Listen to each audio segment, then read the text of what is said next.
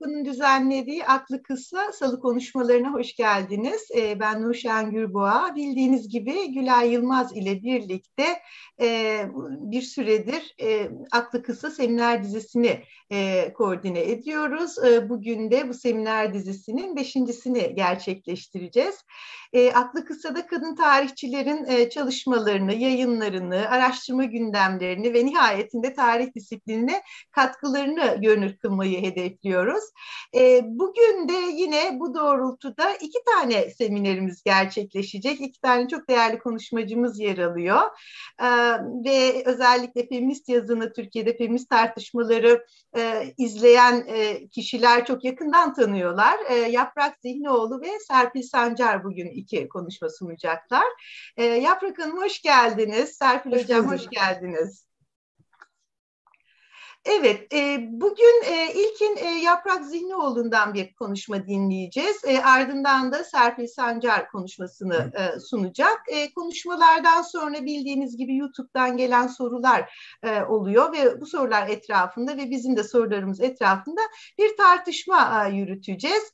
E, konuşmalar yaklaşık yarım saat e, olacak. E, her iki konuşmadan sonra da sizlerin sorularınızı alacağız ve o doğrultuda e, devam edeceğiz. E, bugün aynı zamanda e, Gülay Yılmaz da burada. Gülay tekrar e, hoş geldin sen de. Birlikte olacağız. Dolayısıyla e, ikimizin soruları ve sohbetleriyle program devam edecek.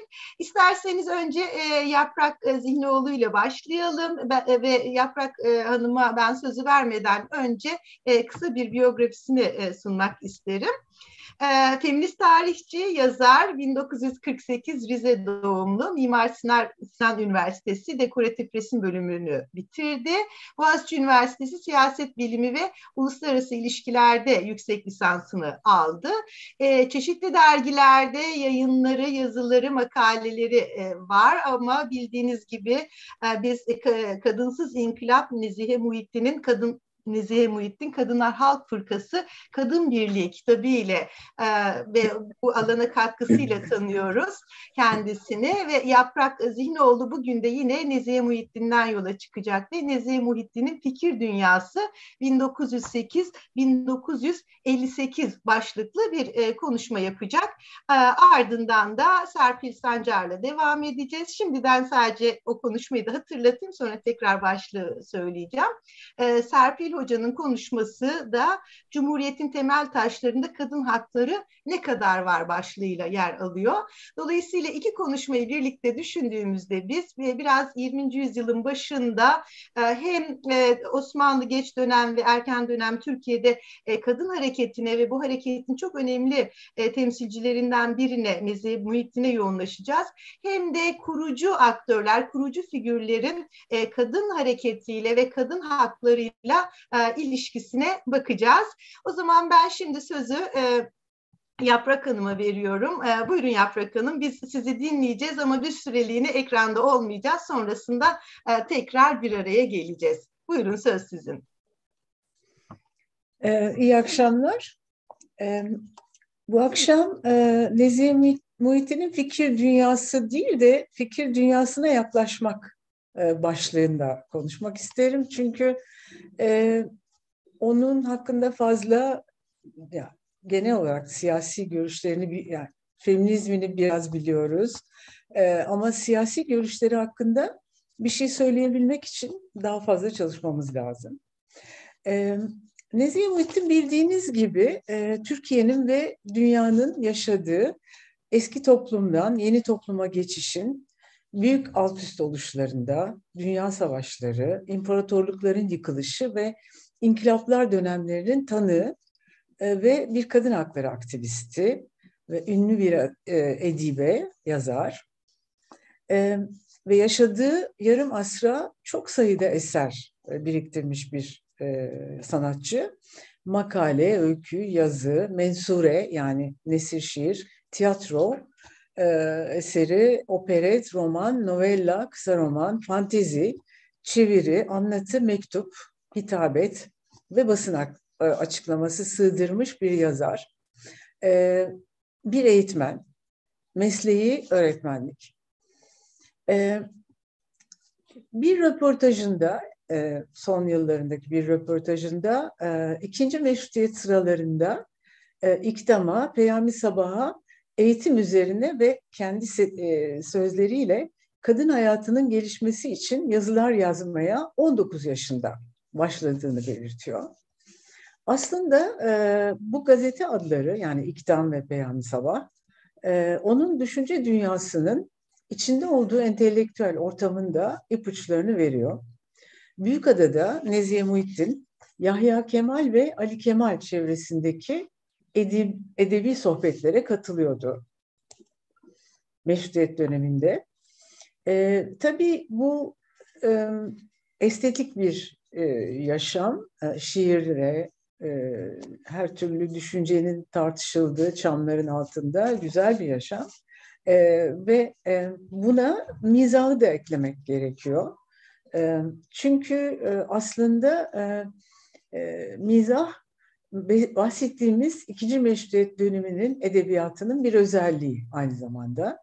Halide Edip e, bir yazısında e, ikinci meşrutiyet edebiyatını genç ve şen bir kahkaha olarak adlar ve ondan bahseder. E, Nezihe Muhittin 1914'te bir kadın mecmuasında Türklerin büyük kadını olarak anıl, anılıyor. Ve e, yaşamında ve edebiyatında, kendine bakışında mizahi ögeleri ve şiiri görüyoruz. Hayranı olduğu halde Edip'in edebi düzeyine ulaşamadığını belirtiyor. Ve 1911'de edebi türdeki ilk kitabı Şebab-ı Tebah, Harcanan Gençlik olarak çevrilebilir, yayınlandığında kadın yazınının güçlü bir kalemi. Ama bu kitabı beğenmediğini ifade ediyor. Yeterli bulmadığını. Ee, peki e, devrin siyasi üslubu olan katılık ve sertlikten nasibini almış mıydı? Ee, evet, e, doğrusunu söylemek gerekirse haksızlığa uğradığında mücadeleci karakterinin ayrılmaz bir para, parçası olan açık sözlülüğünün ileri giden yorumlara dönüştüğü oluyordu. 1929-32 yıllarında kendisini kadın birliğinden ihraç eden belirli bir klibe karşı kırgınlığını sert sözlerle ifade edişine tanık olmuştuk. Yine de o ekibin kısa süre sonra dernekten uzaklaşmasıyla e, düzeltici açıklamalarla eski arkadaşlarının gönlünü almaktan geri kalmadı. Mizaha gelince 1920 sonrasında sık sık karşılaşacağı eril cephenin kadınları alaya, hafife alma stratejisine kendisiyle onlardan daha fazla alay ederek cevap verdi. Karikatürlerini yani onun hakkındaki karikatürleri çok beğendiğini ve onlara kahkahalarla güldüğünü açıkladı. 1927 sonrası basının e, basında yer alan ah bir de erkek olsa mizahı ve karikatürüne adam sizde ben de erkek sayılırım serde hem cinslik var yanıtını verdi. Vilayetin yani İstanbul Valiliği kendisine karşı açtığı yolsuzluk, emniyeti suistimal davalarına karşı vilayet aleyhine açtığı davanın ki ayrıntılarını fazla bilmiyoruz. Ekim 1927'deki duruşmasında basının sorularını yanıtlarken gösteren fotoğrafında yanında arkadaşını, avukatını ve gazetecileri güldürdüğünü görüyoruz.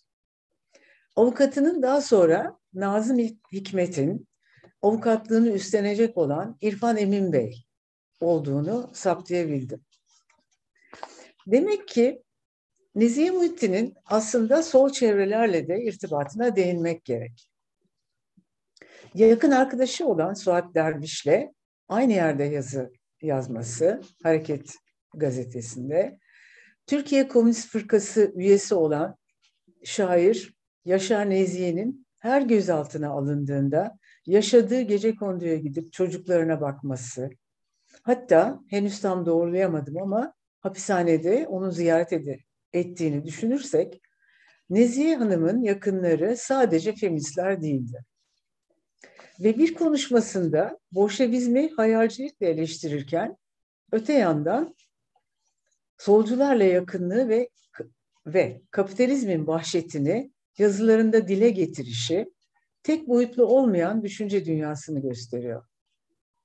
1927'deki de 27'deki aleyhine açılan davalarda avukatının Nazım Hikmet'in avukatı İrfan Emin Bey olması da ilginç bir ayrıntı. Dostluk ilişkilerinin daha ayrıntılı araştırılması onun portresini netleştirmemize yardım edecek.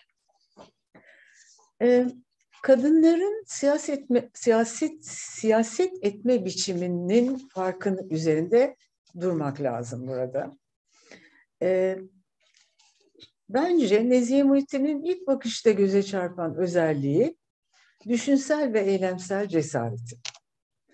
Siyasal açıdan dikkat çeken yanı ise ürettiği kadın kurtuluşu politikalarının herhangi bir siyasi partinin programatik çerçevesinden bağımsızlığı.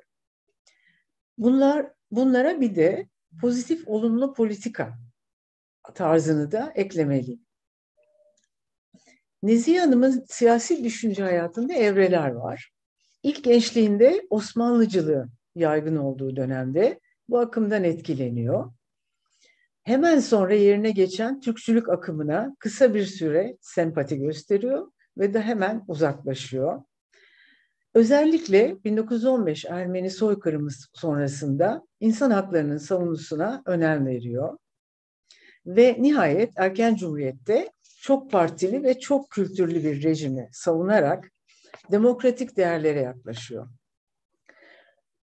Siyasi cesaretinden de söz etmek gerekir. İttihat Terakki'nin baskıcı dönemi olsun, erken cumhuriyetin baskıcı ortamı olsun, konuşmaktan, yazmaktan, eylemlilikten vazgeçmiyor. Ana akıma uymak yerine benimsediği düşüncelere, ideallerine göre davranıyor. Siyasi bağımsızlığını her zaman koruyor ve yaşam boyunca kadınlar için mücadele etmekten vazgeçmiyor. Ee, Nezihe Muhittin'i incelerken gördüğüm bir başka önemli husus pozitif yani olumlu politika yöntemini kullanması.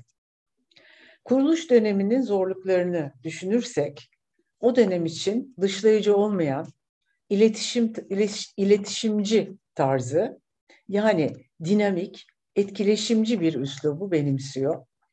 Ve buna bir örnek vermem gerekirse e, Türk Kadınlar Birliği'nin camilerde kadınlara kadınlara vaaz vermesi kampanyasına bakalım. E, hem İslam dininin yüzyıllardır erkek egemenliğinde ataerkilleşmesine karşı mücadele eden öncülleri Fatma Aliye ve Emine Semiye gibi güçlü feminist kadınların mücadelesine katılıyor. Hem de feminizmin kadın haklarının en ücra mahallelerde, köylerde, bir toplanma yeri olan camilerde savunulmasını öneriyor. Bu çabaları aslında adı geçen iki büyük reformistin yani Fatma Aliye ve Emine Semiye'nin ve erken dönem hareketin İslam'ın başlattığı İslamiyet'in feminizasyonu adı altında toplayabiliriz.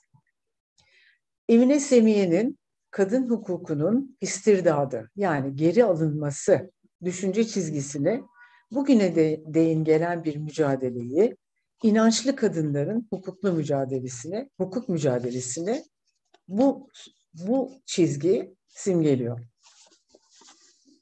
Nezihe Muhittin stratejik düşünen bir aktivist, eylemci.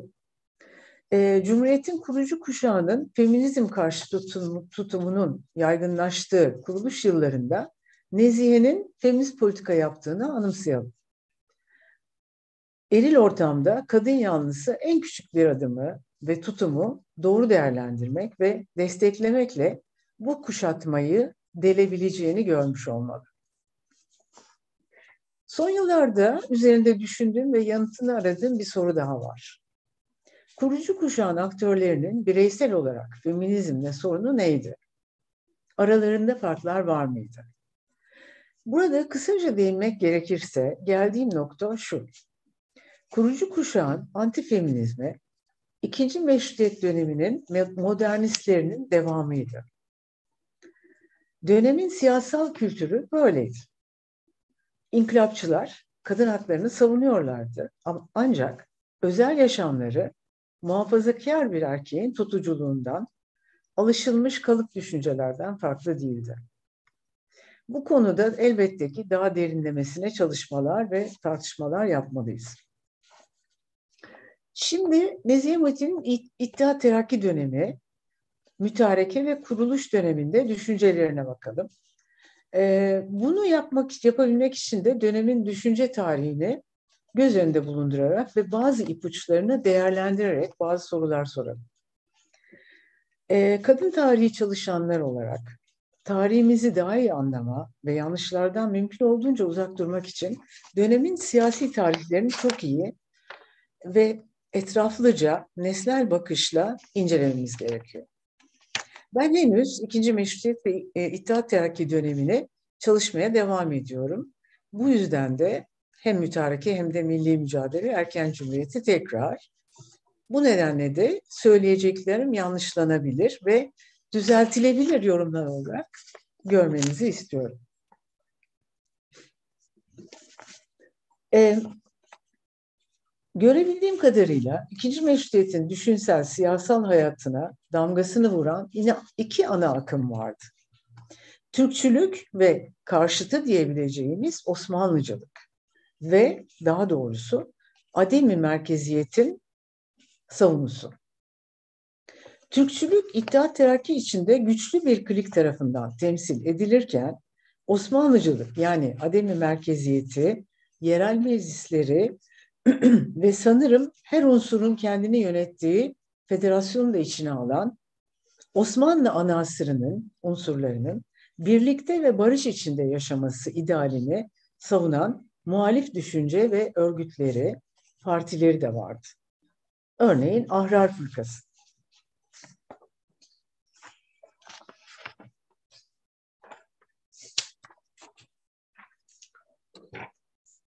İttihat Terakki'de bir zamanlar yer almış ama cemiyette Türkçülük ve hoşgörüsüzlük hakim olduğu için düşünce ayrılığına düşmüş İT'nin muhalifleri. İttihat Terakki ise şöyle tarif edebilirim. Yeminli siyasetten uzaklaşmayan ve neredeyse tek sesten oluşan iktidar partisi. Birleştirici gücü var, Türkçülüğü ve milliyetçiliği. İkinci grup ise, muhalif grup ise epey varyantı ve çeşitliliği içeriyor. Muhalifler parçalı, birbirini tutmayan tutum ve eğilimlerden oluşuyor. Mesela İttihat Terakki'ye yaklaşmasına izin verilmeyen bazı kişiler ve menfaat gruplarından başlayıp çağdaşlaşmacı idealist düşünür, siyasetçi ve eylemcilere, oradan da İslamcılara uzanan bir skalada yer alıyorlar. Meşruiyet döneminin kadın tarihini anlamak için kanımca İttihat Terakki muhalefetini çok iyi bilmek gerekir. Ee, bu sorunlar etrafında yer alan aydınlar elbette memleket meseleleriyle ilgilenmekten, hasta adamı nasıl kurtaracaklarını tartışmaktan uzak kalamıyorlar. Dikkatimi çeken bir başka özellik daha var. Günlük yaşamların bir yaşamlarının bir parçası olan şiirdeki zarafete, inceliğe karşılık siyasette hoşgörüsüzlük, dar görüşlülüğün eş düzlemde yer alabilmesi. Bugüne kadar e, deyin gördüğüm kadarıyla Nezihe Muhittin'in ikinci meşruiyet dönemi fikir akımlarına tam uyumunu te- tespit edemedim. Kadın hareketinin ve Nezihe Muhittin'in bu görüş parti ve kişilere mesafeli bir destek verdiklerini ve bu desteğin de kadın hakları ile ilgili beklentileri için olduğunu düşünüyorum. Örneğin İttihat Terakki'ye üye oldukları iddia edilen Emine Semiye ve Selma Rıza Hanım, Ahmet Rıza Bey'in kız kardeşi, etkinliklerini incelediğimde İttihat Terakki ile birlikte kadınların eğitimi için var güçleriyle çalıştıklarını gördüm. Ancak İT'nin tüm siyasetini benimsediklerine ilişkin elimde henüz bir bilgi yok. Selanik'te Meşrutiyetin ilk yıllarında yayınlanan Kadın dergisi ve baş muharriresi Zekiye Hanım'ın yazıları da dikkatle incelendiğinde bu mesafeyi görmek mümkün. Nezih Muhittin de ikinci meşruiyet döneminde İttihat Terakki'nin kızların eğitim hamlelerine bütün gücüyle ve İttihat Terakki mekteplerinde bizzat çalışarak destekledi. Hatta bu konuda e, İT muhalifi olan kadınlar dünyasının eleştirilerine uğradı. Ve kendini cemiyet için değil, bu ideal için çalışan bir eğitim gönüllüsü olarak savundu. Aslında bulunduğu çevre itibariyle İttihat Terakki'ye seviyeli bir muhalefet yürüten Ahrar Partisi ya da iyi olan her şeyi fırkacılık yapmadan savunan Yahya Kemal gibi aydınlara yakın olması onu İttihat Terakki'nin eğitim programları için çalışmaktan alıkoymadı. 1913'te Türk unsurunun iktisadi gelişmesini savunuyordu. Türk unsurunun devlet memuriyeti dışında ticarete, sanayiye ilgisizliği nedeniyle geri kaldığını refaha ulaşamadığını pek çok aydın gibi düşünüyordu. Oysa 1918 sonundaki bir yazısında Prens Sabahattin'in tezi olan ademi merkeziyeti savunduğunu görüyoruz. Harbi Umumi'de yaşanan büyük felaketlerin özellikle de 1915 Ermeni büyük felaketinin sorumlusu olarak Enver, Talat, Cemal, Cemal Paşa üçlüsünü gördüğünü aynı yıllarda yazmıştı. 1915 büyük felaketini toplumun diğerli, duyarlı diğer insanlarıyla birlikte kadın hakları savunucularının da acı ve öfkeyle karşıladıklarını söyleyebilirim.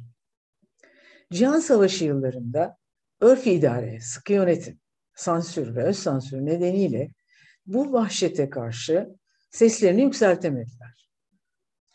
Ancak satır aralarında değindiler. Bıraktıkları bazı izler tutum alışlarından ve bu şeylerden, konuşmalarından bazı satır aralarında, aralarında e, ki ifadelerinden bunu anlayabiliyoruz. Kadınların kamu alanına çıktığı erken dönemden beri Müslüman Türk kadın hareketinin Ermeni, Rum, Yahudi kadınlarıyla ve kadın hareketleriyle bağlantısı olduğunu görüyoruz. Kız mekteplerinde eğitmenler olarak, kadın derneklerinde faal olarak birlikte yer aldılar. Hilal Ahmer, Esirgeme Derneği ve daha pek çok kadın derneğinde Hristiyan ve Yahudi kadınların desteğini görüyoruz. Bu bağlantı 1915 soykırımı ile kesintiye uğradı. Bu büyük bir facia ve toplumsal kırılmaydı. Toplum ağır yaralar ve acılarla sarsıldı. Hristiyanların, Ermenilerin ağır kayıplar vermesiyle içe kapanma, ümitsizlik ve öfke hakim oldu. Yine de satır aralarından görebildiğim kadarıyla kadınlar birbirlerine destek olmaktan vazgeçmediler. Erkek iktidarın savaş ve düşmanlık politikalarına karşı dayanışmayı seçtiler. Feminizm o zor anlarda da kadınlar için birleştirici bir rol oynadı. Ve kadınların topluma umut veren bir etiği, ahlakı, acılarla bir, acılara birlikte dayanmayı ve birlikteliği savunma gücünü ortaya koydu. Bu ülkede özellikle Birinci Dünya Savaşı sonrası Hristiyan ve Musevi vatandaşların insan haklarına kadın tarihi açısından bakmayı bakmaya çalışmalıyız. Yakın tarihimiz ırkçı ve Türkçü ideolojilerin gerçeğe dayanmayan nefret söylemleriyle, dışlayıcı iddiaları ile doludur. Ve resmi tarih yazımı da bunlarla belirlenmiştir. Bu ülkenin kadim haklı, halklarından olan Hristiyan ve Yahudilerin ve kadınlarının kadın tarihimizdeki görünmezliği üzerine Lerna Ekmekçioğlu, Melisa Bilal, Hazal Halavut gibi yazarların eleştirilerine katılıyorum. Kadın tarihinin büyük felaketi görmezden gelmesi mümkün değildir. Cumhuriyet Kadınlar ve Nezihe Muhittin'e bakalım biraz. Nezihe Muhittin ve Fatma Aliye, Emine Semiye gibi ikinci meşrutiyet döneminin kadın aktivistleri milli mücadeleyi ve kurulan genç cumhuriyeti kadınlara sunduğu eşitlik ideali için ve medeni çağdaş bir yönetim biçimi olarak desteklediler. Cumhuriyet inkılaplarını laikliği savundular. Bu tutum Anadolu'nun ücra kentlerine değin kadınlar arasında yaygındı. Nezihe Muhittin'in Cumhuriyet'in ilk yıllarındaki sert uygulama, uygulamalara eleştirel yaklaştığını, çok parlamenter sistemi, çoklu parlamenter sistemi e, savunduğunu, çoklu parlamenter sistemi ve demokrasi ve insan hakları savunduğunu düşünüyorum. 1930 belediye seçimlerinde Serbest Cumhuriyet Fırkası'nın önde gelen üyeleri arasına girişi ve seçimler sırasında basına verdiği, verebildiği demeçlerden siyasal görüşlerine yaklaşıyoruz. Serbest fırkaya katılmasının nedeni demokrasi ve düşünce özgürlüğünü geliştirmek, tek parti yönetimine, döneme ilişkin diktatörlük iddialarına karşı tutum almak içindi. Bu yolla kadınların özgürlük alanının genişleyeceğini düşünmüş olmalıdır. Ona göre parlamenter sistemin gereğini yetir, yerine getirmek için çok partili bir siyasal hayata geçilmesi ve kadınların seçme ve seçilme haklarını bir an önce kazanması gerekiyordu. Onun demokrasiyi savunusu daha sonraki yıllarda kazanmasa da seçimlerde 1945'e değin bağımsız adaylığını koyarak devam etti. Nezihe Muhittin'in desteklediğini düşündüğü ikinci husus, devletin Hristiyan ve Musevi vatandaşlarına karşı yoğunlaşan ayrımcı politikalarına ve siyasal alanda hakim kılınmak istenen Türkçülüğün aşırı yorumlarına karşı serbest fırkanın bazı hamleleridir. Çok renkli bir kişilik olarak Nezihe Muhittin Hanım, ikinci meşruiyet döneminde filizlenen kadın inkılabının ve erken, erken cumhuriyet dönemindeki kadın hakları hareketinin içinde mücadele ederken edebiyattan, şiirden kopmadı. Toplumsal sorunları fark etmek ve çözüm aramaktan vazgeçmedi. Onun siyasi eğilimlerini tam olarak bir çerçeve içine oturtamıyorum. Bunun nedeni bana öyle geliyor ki kadınların siyaset alanını kavrayışlarındaki farklı bir özellikte yatıyor. Eril siyaset etme biçimlerini biçimi olan hakimiyet kurmak ve yönetmek ve bunun psikososyal karşılığı olarak kişisel tatmin, mevki, maddi zenginlik ve bunlar iken kadınların siyasal alana yaklaşımlarının sorun çözme odaklı olduğunu düşünüyorum. Kabul edilmeyen varoluşlarını, yeteneklerini göstermenin yolu topluma bir şekilde değmek, sorunların çözümüne katkıda bulunmakla bağlantılıydı. Bireyselci değil, paylaşımcı politikalar, alıştıkları imece tarzı, hiyerarşiyi dışlayan ortaklaşmacı çalışma biçimleri, erkeklerin iktidar modelini sorgulamaları bana bunları düşünüyor. Bana bunları düşündürüyor. Nezihe Muhittin bir liberal miydi? Buna tam olarak evet demek zor. Kelimenin tam anlamıyla liberal ideolojiye sığmıyor. Ama şunları söyleyebilirim. Son olarak, kadın siyasetinin ezilenlerin sesi olmaktan gelen bir başkalığı, bir fark, belki bir tevazu, diğer ezil, ezilme biçimlerine duyarlılık gibi özellikleri vardı. Ki bu özelliklerin tanımı siyasette henüz yapılmadı. Teşekkür ederim.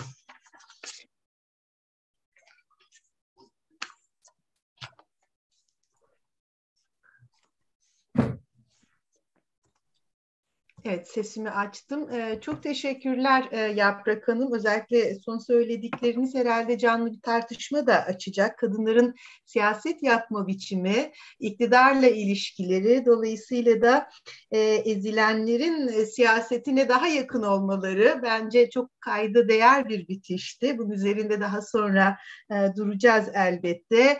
E, Nezihe Muhittin'in liberal olup olmaması ayrı bir tartışma. E, çok, çok hoş bir e, e, e, sonuçla bitirdiğiniz yeni tartışmalar açacak bu. Dolayısıyla o kısma konuşmanın e, seminerlerin sonuna bırakıyorum. Çok teşekkür ediyorum. E, şimdi İsterseniz e, Serpil Hoca ile devam edelim. E, tekrar merhaba Serpil Hocam. E, isterseniz sizin sunumunuza geçmeden önce kısaca sizin de akademik biyografinizi vermek isterim. E, Profesör Doktor Serpil Sancar, Ankara Üniversitesi Siyasal Bilgiler Fakültesi öğretim üyesi, siyaset bilimi ve kadın çalışmaları alanlarında akademisyen olarak çalıştı e, siyaset kuramı, siyaset sosyolojisi ve sosyal araştırma metodolojisi, küresel siyasal dinamikler, din siyaset ilişkisi, Türk modernleşmesinin cinsiyeti, Türkiye'de cinsiyet eşitliği politikaları, erkeklik çalışmaları, feminist kuramlar, kadın hakları hareketleri ve feminist araştırma yöntemleri konularında e, lisans, yüksek lisans ve doktora düzeyinde dersler verdi. E, Profesör Sancar Ankara Üniversitesi Kadın Sorunları Araştırma ve Uygulama Merkezi'nin kurucularındandır aynı zamanda ve 2010-19 yılları arasında da merkezin başkanlığını yaptı. E, Profesör Sancar mensubu olduğu Siyasal Bilgiler Fakültesi'nde Siyaset Bilimi ve Kamu Yönetimi Bölüm Başkanlığı, Kadın ve Toplumsal Cinsiyet Çalışmaları Anı Dalı, e, ana dalı kurucu başkanı, Ankara Üniversitesi Sosyal Bilimler Enstitüsü Kadın Çalışmaları ana bilim dalı başkanı olarak idari sorumluluklar da üstlendi. E, Siyasal Bilgiler Fakültesi'nin ilk kadın ve son seçilmiş dekanıdır aynı zamanda e, Serpil Hoca. 2014-2016 yılları arasında bu görevi yürüttü. E, Profesör e, Sancar aynı zamanda Sabancı Üniversitesi Toplumsal Cinsiyet Forumu, Koç Üniversitesi Kadın Araştırmaları Merkezi Danışma Kurulları üyeliği, Journal of Women in Culture and Society'nin Uluslararası Danışmanlar Kurulu üyesi olarak da çalıştı.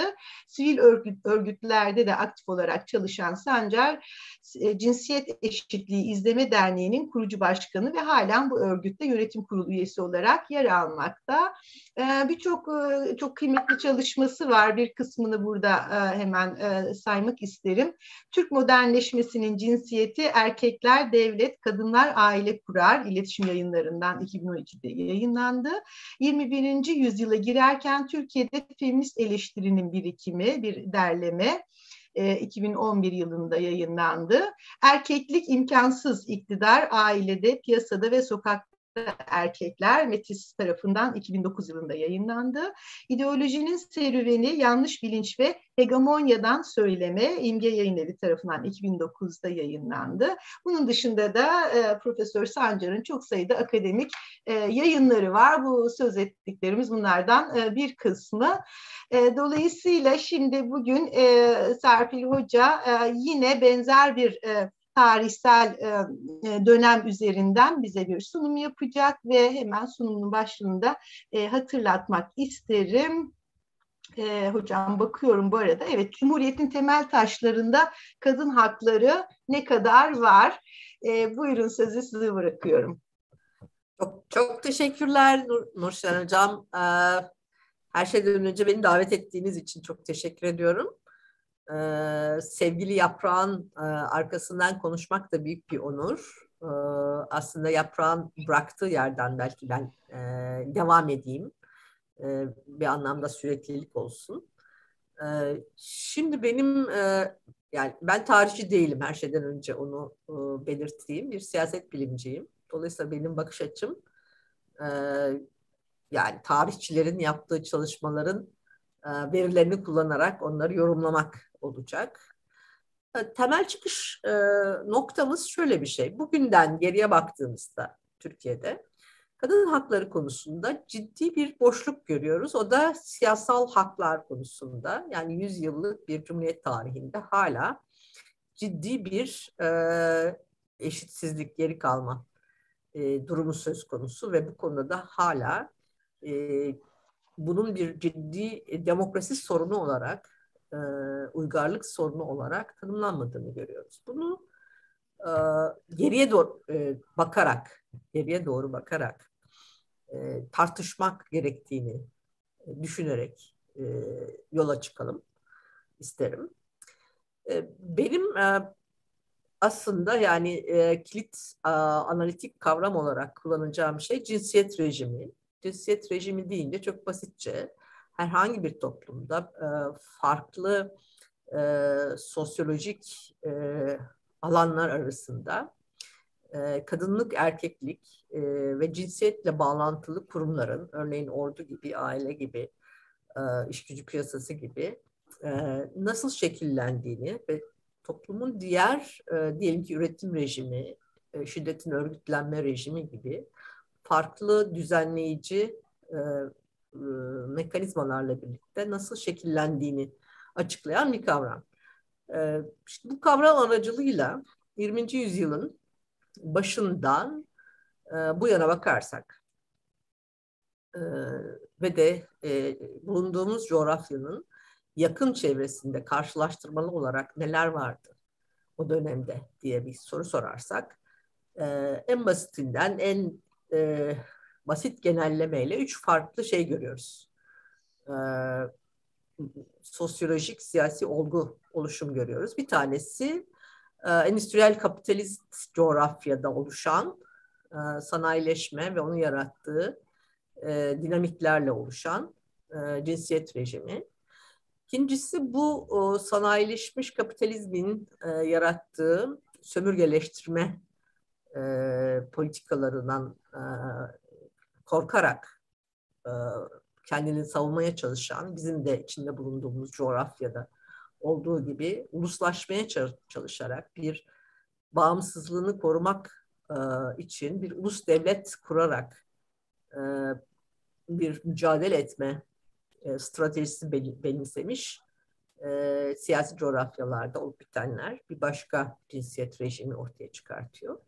Bir de eş zamanlı olarak tabii yani e, işte Rusya'da ortaya çıkan Bolşevik devrimi ve onun e, paralel olarak gelişen e, dünyanın en radikal kadın hakları hareketlerinden biri. İşte Alexander Kollontai benzeri önemli feminist kadınların öncülük ettiği cinsel devrim odaklı bir başka cinsiyet rejimi. Şimdi bu o, üç farklı cinsiyet rejiminin e, farklı kesişimleri olabilir. Eş zamanlı olarak yani bugün de bulunduğumuz coğrafyada bu üç farklı cinsiyet rejiminin katman katman ya da e, iç içe geçmiş biçimde e, dönüşerek bugüne kadar geldiğini görüyoruz. E, bütün bu o, süre boyunca e, bütün bu o, oluşumların kenarında, köşesinde, üstünde dışında var olan bir kadın hakları hareketi ya da feminist hareketten de bahsetmek gerekir. Yani bunun 20. yüzyılın başındaki en güçlü örneklerinden biri tabii ki şeyde liberal dünyadaki süfraje hareketi. Yani oy hakkı mücadelesi, kadınların oy hakkı mücadelesi özellikle zikredilmeye değer. Şimdi burada e, şöyle bir e, kısa tanımlama yaparak e, Cumhuriyet'in oluşumuna girmek isterim. Yani sanayi kapitalizm ya da endüstrileşme, sanayileşme nasıl bir cinsiyet rejimi yaratıyordu? Neyi dönüştürdü de yeni bir şey ortaya çıktı. Cinsler arasında yeni bir dinamik ortaya çıktı. Şu açık ki sanayileşmenin en önemli sonuçlarından biri fabrikaların ve fabrikaların etrafında oluşan yeni kentlerin ortaya çıkışı. Buraya bu kentlere doğru işçi göçü. Bu, e, bu işçi göç, göçü e, aile modellerini de, değiştiriyor. Yani toprağa bağlı e, üretimle şekillenen geniş aile yapılarını e, sanayi kentlerindeki küçük e, ailelere dönüştürüyor. Bu aileler e, yani erkeklerin e, tam gün uzun süre çalıştığı e, ve kazandıklarıyla aileyi geçindirdikleri, ailenin geçim sorumluluğunu üstlendikleri bir yeni aile türü aslında modern aile dediğimiz. E, bu o, erkekler aynı zamanda ailenin sorumlusu, ailenin reisi ve ailedeki diğer fertler için, kadınlar ve çocuklar için de bir yönetici pozisyona geliyorlar süreç süreç içinde. Bu yeni e, işçi ailesi bir model. Tabii ki eş zamanlı olarak burjuva ailelerinden, orta sınıf ailelerinden de bahsedebiliriz. Bu da ayrı bir konu. bu o, aile modelinde kadın, kadınlar çalışsa da ki bu çalışma e, bir marjinal e, kalıyor piyasada ve büyük ölçüde e, kadınlar ev işi, e, ücretsiz aile işçisi ve çocukların bakımını üstlenen bir emek türü olarak şekilleniyor.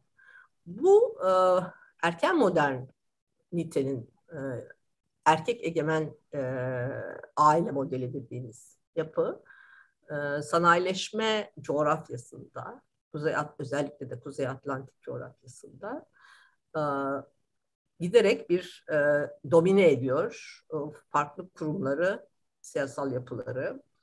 E, örneğin medeni haklar, evlilik biçimleri e, buna göre şekilleniyor. E, evlenen kadınlar her ne kadar liberal e, dünyada e, insanlar doğuştan eşit ve özgür kabul edilse de ve bireysel hakları olduğu söylense de evlenen kadınlar haklarını e, eşlerine, kocalarına devrediyorlar. E, mahkemeye gitme hakkında dahil, mülkiyet hakkı dahil böyle bir yeni evlilik modeli de ortaya çıkıyor. E, bu o, şeyde bağlamda kadınlar kadın hakkı, kadın hakları mücadelesi neyi e, odağına alıyor? E, kadınların e, eşit çalışma hakları, eşit ücret hakkı e, çok önemli bir şey oluyor. E, siyasi hedef oluyor. Eşit ücret, eşit işe eşit ücret e, siyaseti büyük ölçüde bu bağlamda ortaya çıkmış bir kadın hakkı talebidir. Burada şunu so- so- sorabiliriz. Peki yani bu oluşumda e, neden yani endüstriyel makinelerin kullanımı e, neden erkek egemen bir şeye dönüştü? E, mekanizmaya dönüştü, bir iktidar pratiğine dönüştü ve kadınlar bu süreçte nasıl dışlandılar? Bu tabii ki uzun bir tartışma. E, konuşabiliriz belki.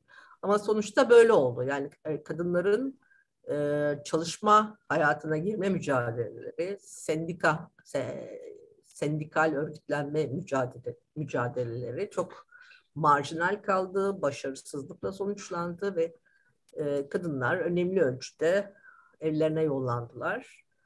E, işçi sınıfının ya da e, görünmez marjinal bir kesimi haline geldiler. E, şimdi e, esas olarak belki anlamamız ve farkını tanımlamamız gereken e, oluşum ise bu endüstriyel kapitalizmin yayılma eğiliminin yani sömürgeleştirme pratiğinin e, tehdit ettiği diğer coğrafyalar. E, erken sanayileşme sürecine dahil olmamış henüz e, daha ticari kapitalizmin belli aşamalarında e, var olan coğrafyalar. E, burada hani sömürgeleştirilme e, korkusu farklı bir dinamik yaratıyor siyasetten de. Bunu Osmanlı'nın son dönem e, tarihinden e, çok yakından biliyoruz. Yani sömürgeleştirilmeden kaçma için icat edilen formülde bir bağımsız bir yeni modern devlet kurmak. Yani ulus devlet kurmak ve klasik imparatorlukları lağvetmek bir anlamda cumhuriyet bunun adı. Dolayısıyla hani e, buradaki e, şekillenmeyi, e, sosyolojik şekillenmeyi, siyasi şekillenmeyi e, olanaklı kılan zihniyet dünyası e, buradan başlayarak anlaşılabilir diye düşünüyorum. Yani bağımsız bir devlet olma, yabancı ülke istilasından kurtulma bunun için de e, uluslaşma, dönemin e, zihniyeti, ulus fikri. E, şimdi Osmanlı'da biliyoruz, e, biraz önce e, Yaprak da bahsetti, yani e, egemen düşünsel akımlar, e, Osmanlıcılık, Türkçülük, İslamcılık e, genellikle bu üçü ve bunun e, farklı e, varyasyonları e, konuşulur. E, bu e, yapıları şeyde görüyorduk, bu süreçte görüyorduk. Yani Osmanlı'nın e, sonu ve Cumhuriyet'in kuruluş yıllarında farklı farklı bakış açıları ile var olduklarını görüyorduk.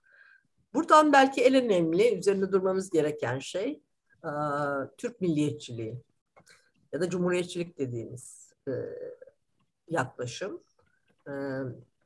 Bunun cinsiyet rejimi neydi? E, yaprak e, Osmanlı'nın son döneminde kadın hareketinin yani özellikle feministlerin e, Nezihe Muhittin örneğinde neler düşündüğünü, nasıl mücadele ettiğini, nasıl daha bağımsız dışarıda durarak farklı siyaset yapma tarzları e, geliştirdiklerini söyledi. E, burada şöyle bir soru sormamız gerekiyor. Cumhuriyet neden Nezihe Muhittin örneğinde olduğu gibi bu tür kadınları Cumhuriyete taşımayı tercih etmedi ya da beceremedi? E, bu kadınlar Cumhuriyet'in ilerlemesiyle birlikte sönüp yok olup tarihten silindiler ta ki 1990'lardan sonra feminist tarih araştırmaları yeniden bu kadınları keşfedene kadar. Ee, bu önemli bir nokta. Ee, peki e, bir başka soru daha soralım. Türk milliyetçiliğinin 20. E, yüzyılın başındaki Türk milliyetçiliğinin 20. yüzyılın ortasındaki Avrupa'daki e, örneğin Nazizm'de daha ırkçılıkla bulanmış milliyetçiliklerle karşılaştırılması yapıldığında ne ortaya çıkar? Şunu açıkça görmek gerekir. Bağımsızlıkçı, sömürgeleşme karşıtı milliyetçilikler, özellikle Orta Doğu bölgesinde 20. yüzyılın başında kadın hakları konusunda önemli adımlar attılar. Başta hani modernleşme ve uluslaşmanın önemli aktörlerinden biri olarak kabul ettiler kadınları. Özellikle kadınları eğiterek bir modern aileler kurmak, modern eğitilmiş yeni nesiller yetiştirme yani bir tür ulusun ana, anaları e, bakış açısı söz konusu. E, bu e, yaklaşım kadınlara e, evde oturmayı değil, evden çıkıp belli sınırlandırılmış bir alanda, sınırlandırılmış bir kamusal aktivite alanında var olma e, ve e, toplumsal gelişime e, katkı sunma fırsatı veriyor. Bu önemli bir fark. Oysa ki yani e, 30-40 yıl sonra Avrupa'da yükselen e, faşizmin çok açık bir biçimde kadınları sadece eve kapatıp mutfak, çocuk ve kilise üçlüsü içine hapsetmeyi istediği çok açık. E, dolayısıyla farklı milliyetçilikler, farklı cinsiyet rejimlerine sahipler.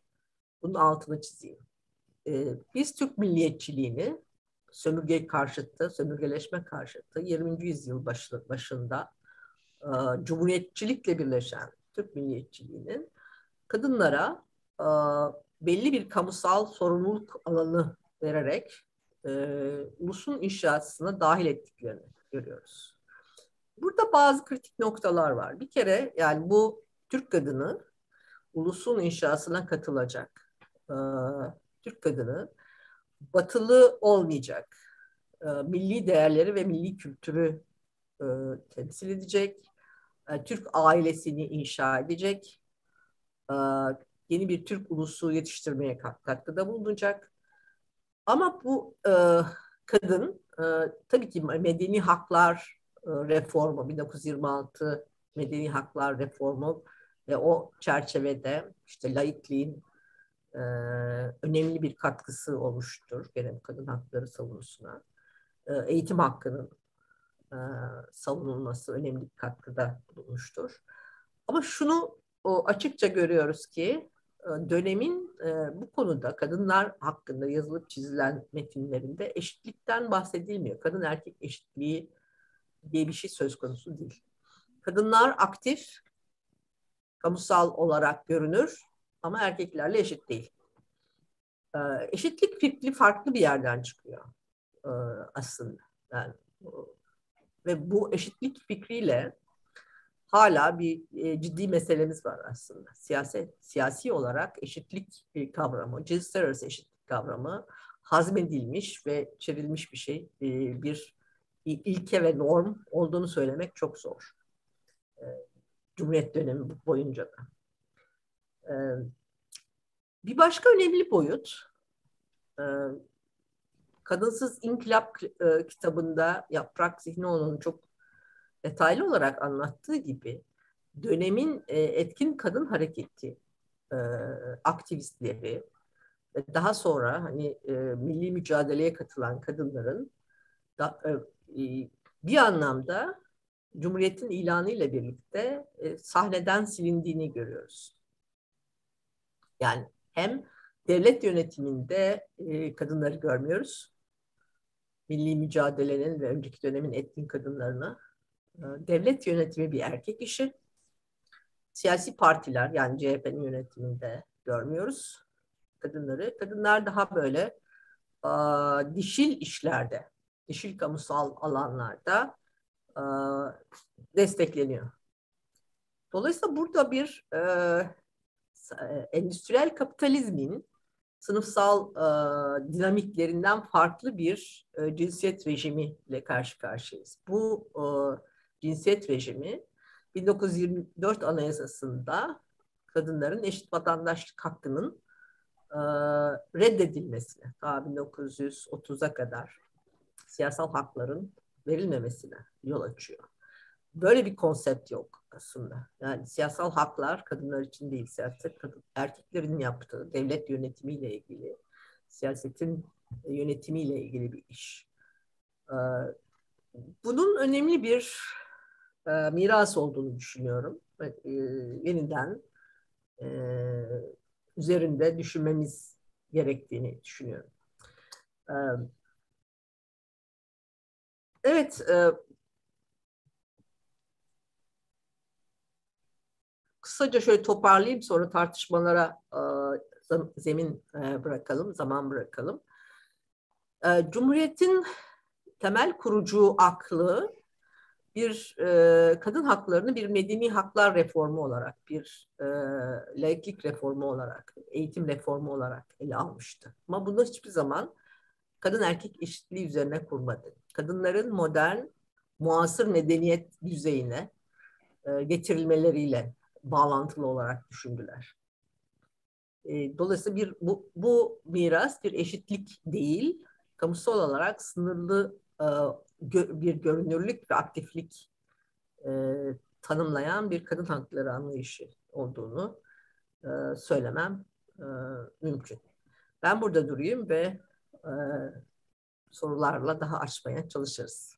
Çok teşekkürler. Çok teşekkürler e, Serpil Hocam. E, evet, e, eşitlik meselesine özellikle vurgu yaptınız. Sınırlı bir kamusallıkla e, e, aslında e, kadınların e, evden çıkmasını sağlamakla birlikte bu sınırlı kamusal görünürlük eşitliği hiçbir şekilde sağlamıyor dediğiniz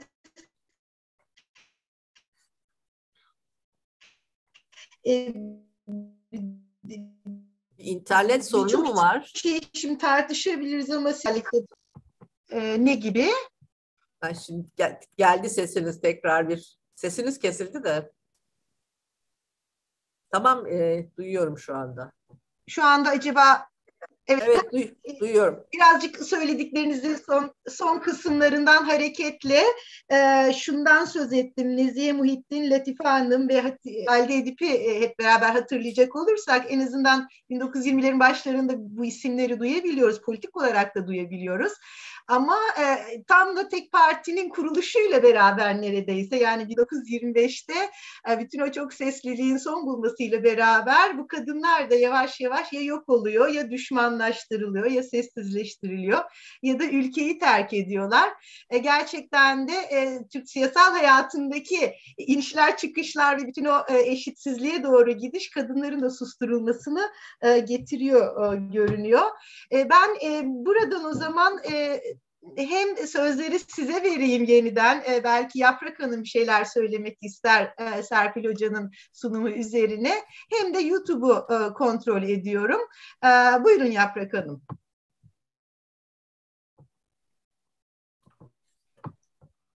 Yaprak sesini aç, sesin kapalı. Evet, sesi açtım. Ee, Serpil'in dediklerine çok gerçekten katılıyorum. O çok daha bugünden bakarak e, bir e, bir şekilde o dönemi bugünden bakarak yorumluyor ve yani sorun sadece bir yani Nezihe Muhittin ve çevresi yani Türk Kadınlar Birliği'nin diğer üyeleri olsun. İkinci Meşrutiyet döneminin güçlü feministleri, Kıbrıslı Azize Hanım gibi ki kitabında bundan bahseder. E, bunların genel olarak yani yaklaşımlarında bir e, e, yani feminizmi önceleme, kadın haklarını önceleme, siyaseti de yani bütün siyaset kurumlarında ya, da e, hükümetlerde kadın hakların yönünde herhangi bir olumlu bir gelişme varsa, en küçük bir adım varsa bunları destekleme yönündeydi. E, bu politika e, gerçekten e, 23'lere, 25'lere kadar sürdü. Ama bir yandan da toplumda başka sorunlar da vardı. Sadece kadın sorunu yoktu. Biraz önce de, değindiğimiz başka sorunlar da vardı. Osmanlı toplumu büyük bir, e, geniş bir toplum. Çok kültürlü, çok milletli, çok e, dinli, çok mezhepli bir toplum. Böyle bir toplumun e, sağ salim e, tek yani ulus devlete tekçi bir yapıya, bir Türkçü bir yani Türkçülüğün ve Türklüğün esas olduğu bir Türk Türkçü bir Türkiye'ye dönüşmesi sorunu vardı ve aydınların bunun karşısındaki tutumları vardı. E, benim görebildiğim kadarıyla e, meşrutiyet döneminde düşünce özgürlüğü yani düşüncelerin ifade edilişi bu tabii e, 1914'teki Harbi Umumi denen yani Birinci Dünya Harbi'ne kadar devam etti. Çünkü harpte tabii ki sıkı yönetim nedeniyle, örfi idare nedeniyle sansür uygulandı ve 1918'de tekrar e, e, harbin bitişiyle birlikte mütarekelerin döneminde tekrar düşüncelerin ifadelen, ifade edilişi başladı. Ta ki 1923'e kadar. Fakat eğer bir karşılaştırma yaparsam e, Cumhuriyet döneminin e, her şeyini okumaya çalışıyorum. Yani e, o dönemin e, verilerini, neler yazıldığını, nelerle tartışıldığını falan e, yeniden. E, çünkü yeterli değil. Her şey e, çok geniş bir alan, çok geniş bir dönem. E, çok şeye bakmak lazım, birden fazla e, özelliği içeren e, hem partiler var, hem görüşler var, hem e, tutumlar var. E, kişiler var, bu kişilerin birbirine karşı tutumları var.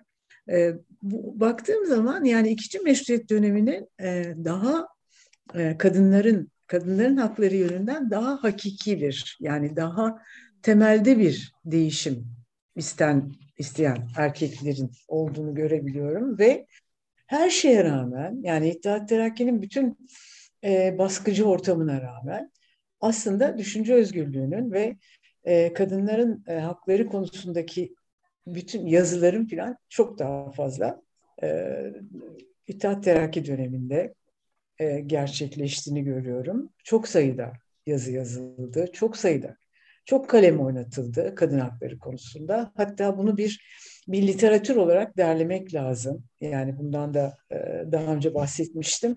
Kadınlık literatürü diyebiliriz buna. E, her kesimden erkeğin e, kadınlık üzerine, kadınların ne yapması, ne olması gerektiği üzerine görüşlerinin yani çok çok önem taşıdığını düşünüyorum bugün açısından. Bunların tekrar derlenip bunların e, bunların üzerine ayrıca durmak lazım. Kim nasıl tavır aldı gibi. E, o zaman bugünü biraz daha iyi anlayabileceğiz zannediyorum. Ama Cumhuriyet sonrasındaki e, bu feminist suskunluğu yani bu denli kadın haklarından uzaklaşılmasını konuların ve uza, kadınların da uzaklaştırılmasını e, yani bunun bunun üzerinde durulması gerek. Yani bizim bunu bunun e, yorumunu yapmamız lazım. Bunu anlamamız gerekiyor. Nedir? Neden bu denli? E, feminizm karşıtı olan bir ortama geçildi. E, e, yani cinsiyet hiyerarşisi nasıl bu kadar daha sert bir şekilde kuruldu? E, modernleşmeci, modernist insanların, e, erkeklerin ve siyasetçilerin e, istek, istedikleri şeyler e, kadınların haklarına kavuşması olduğu halde e, nasıl bu haklar sınırlandırıldı, neyle sınırlandırıldı gibi yeniden yeniden düşünmemiz lazım.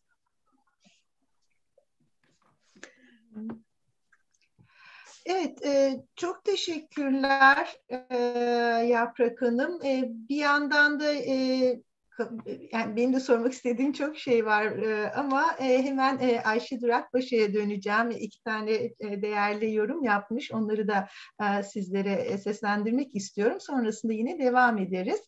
E, Ayşe Durakbaşı diyor ki aslında söylemsel düzeyde Cumhuriyet ideolojisinin cinsiyet eşitliğinden söz ettiğini teslim etmeliyiz. Ancak fiilen bu eşleşmiyor. Ee, devamen e, son günlerde İsmail Hakkı Baltıcıoğlu'nun 1930'larda burada izlemek mümkün örneğin diyor. Ee, dolayısıyla Ayşe Durakbaşı eşitlik eşitlik e, kavramının söylemsel düzeyde yer aldığını ama uygulamada özellikle e, bunun karşılığının olmadığını söylüyor. Ne dersiniz bu konuda? Ee, soru bana mı? E, e, yani bu yoruma en azından e, bu yorumlu diyaloğa evet. girmek ister misiniz? Ne dersiniz? Yani Ayşe hocama katılıyorum. Yani eşitlik lafı geçse de bu kadın erkek eşitliği üzerinden somut hani Cumhuriyet'in kurucu normlarından biri olarak tanımlanmıyor. Yani kadınların önemi kadın haklarının önemi vurgulanıyor. Kadınların önemi vurgulanıyor. Türk kadınının e, yüceliği, e, işte e, medeni dünyanın bir parçası olma konusunda adım atması gerektiği vesaire bunlar var. Ama eşitlik fikri yani Kuzey Atlantik liberal siyaset dünyasında olduğu gibi birey temelli, haklar temelli, e, cinsler arası eşitlik fikrinin ben e, yaygın bir biçimde sahiplenildiğini e, görmüyorum yani a, belki ama farklı tarihi metinlerde olabilir. Ben bir siyaset bilimci olarak görmüyorum. Yani dönemin siyasi örgütlerinin e, ne bileyim Türk Ocağı'ndan Cumhuriyet Halk Fırkası'na e, diyelim. E, zaten öyle bir eşitlik fikri olsa e, onun üzerinden kadınlar e, yürüyebilirlerdi. Onu savunarak kendilerine bir şey alan açabilirlerdi. Yani e, Türklük e, muasır medeniyet düzeyine çıkmak arzusundaki yeni Türk ulusu, yeni Türk devleti e, normları içinde bunun e, çok gerilerde belki de e, tehlikeli olduğunu düşünüyorum. E, bu e, yani bence meseleyi şöyle anlamak. Yani eş zamanlı olarak dünyanın farklı yerlerinde kadın hakları hareketleri nasıl şekillendi o, ta- o tarihte 20. yüzyılın başında. Bu bize çok şey gösteriyor. Yani Orta Doğu'nun farklı ülkelerinde, Doğu Avrupa'da, Güney Avrupa'da, Kuzey Amerika'da, Güney Amerika'da neler oldu? Bu bize yani şeyi gösteriyor. Birinci Dünya Savaşı savaş dönemleri ve daha sonra yeniden inşa dönemlerinde var olan e, kadın hareketi figürlerini, aktörlerini siyasete devşirebilen e, siyasi rejimler e, demokraside önemli hamleler yapabiliyorlar. E, buna örnek İskandinav ülkeleri e, verilebilir. E, ya da bazı Avrupa ülkeleri, yani İkinci Dünya Savaşı sonrasında örnekler verilebilir. Cumhuriyet, Türkiye Cumhuriyeti'nin kuruluşunda böyle bir kırılma oluyor. Kadın hakları hareketinde bir kırılma oluyor. Bağımsız, e, kadın hakları temelli e, önemli siyasi figürler e, dışlanıyor. Siyasetten dışlanıyor, devlet ve bürokrasi yönetiminden dışlanıyor. E, sadece halde edip olması önemli değil. Yani e, 1960'lara kadar devlet yönetiminde neredeyse bir kadın bakan, bir üst düzey e, devlet sorumlusu e, göremeyiz. Kadın göremeyiz. E, farklı bir, yani Cumhuriyet Halk Fırkası'nın ve daha sonraki e, dönemlerdeki e, devamı olan partilerin e, kadınları az sayıda da olsa içerdiğini ama bu kadınların bir tür e, benim başkanın kadınları dediğim yani doğrudan seçici erkekler tarafından seçilmiş e, siyasetten güçsüz e, siyasi destekleri olmayan daha e, vesayet altında tutulabilmesi kolay e, yani vitrinde e, modern Türk kadını olarak gösterilebilir e, kadınlar olduğunu e, görüyoruz. Önemli liderlerin eşleri üzerinden bu figüre bakabiliriz aslında. E, yani İnönü'nün, e, işte Menderes'in, Bayar'ın vesaire yani daha 90'lara kadar gelen e, Ecevit hariç olmak üzere ki o, orada da bir başka e, kırılma vardır. Dolayısıyla e, şeyin yani bugün de egemen olduğunu düşündüğüm e, bir şey anlayışı bu. Kadınların siyasete devşirilme anlayışı. E, gelin ama bizim çizdiğimiz sınırlar içinde gelin. Bizim seçtiğimiz kişiler olarak gelin. Kadınlar olarak gelin ama feministler olarak gelmeyin. Kadın hakları savunucusu olarak gelmeyin. Kadın olarak gelin. Biyolojik olarak sizin görünürlüğünüzü kabul ediyoruz. Ama bir kadın hakları siyasetini e, Cumhuriyet'in kurucu meşru siyasetleri arasına alamayız. Feminizmi bunun içine alamayız. Bu hala bugün içinde. Yani Cumhuriyet, e, Cumhuriyet Halk Partisi'nin e, ciddi bir biçimde Türkiye'de kadın hakları hareketinin önde gelen isimlerini e, devşirmekten uzak durduğunu görüyoruz mesela. Kadınlara evet ama kadın hakları savunucularına hayır.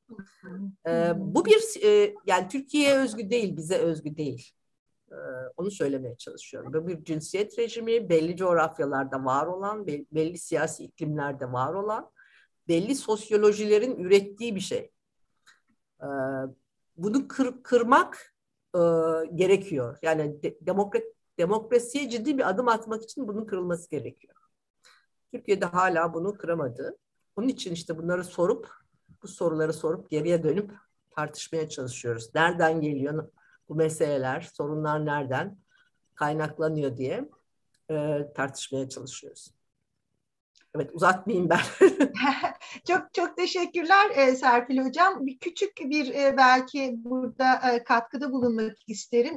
Özellikle erken cumhuriyet döneminde hani e, Yaprak Hanım'ın da e, değindiği gibi hani e, o filmimizden daha da uzaklaşıldığından söz etti. Erken cumhuriyet döneminin bir de büyük bir nüfus problemi, nüfus krizi var ki bu sanki biraz da ulus devlet inşasında nüfusun inşası kısmı kadınlara havale edilmiş durumda.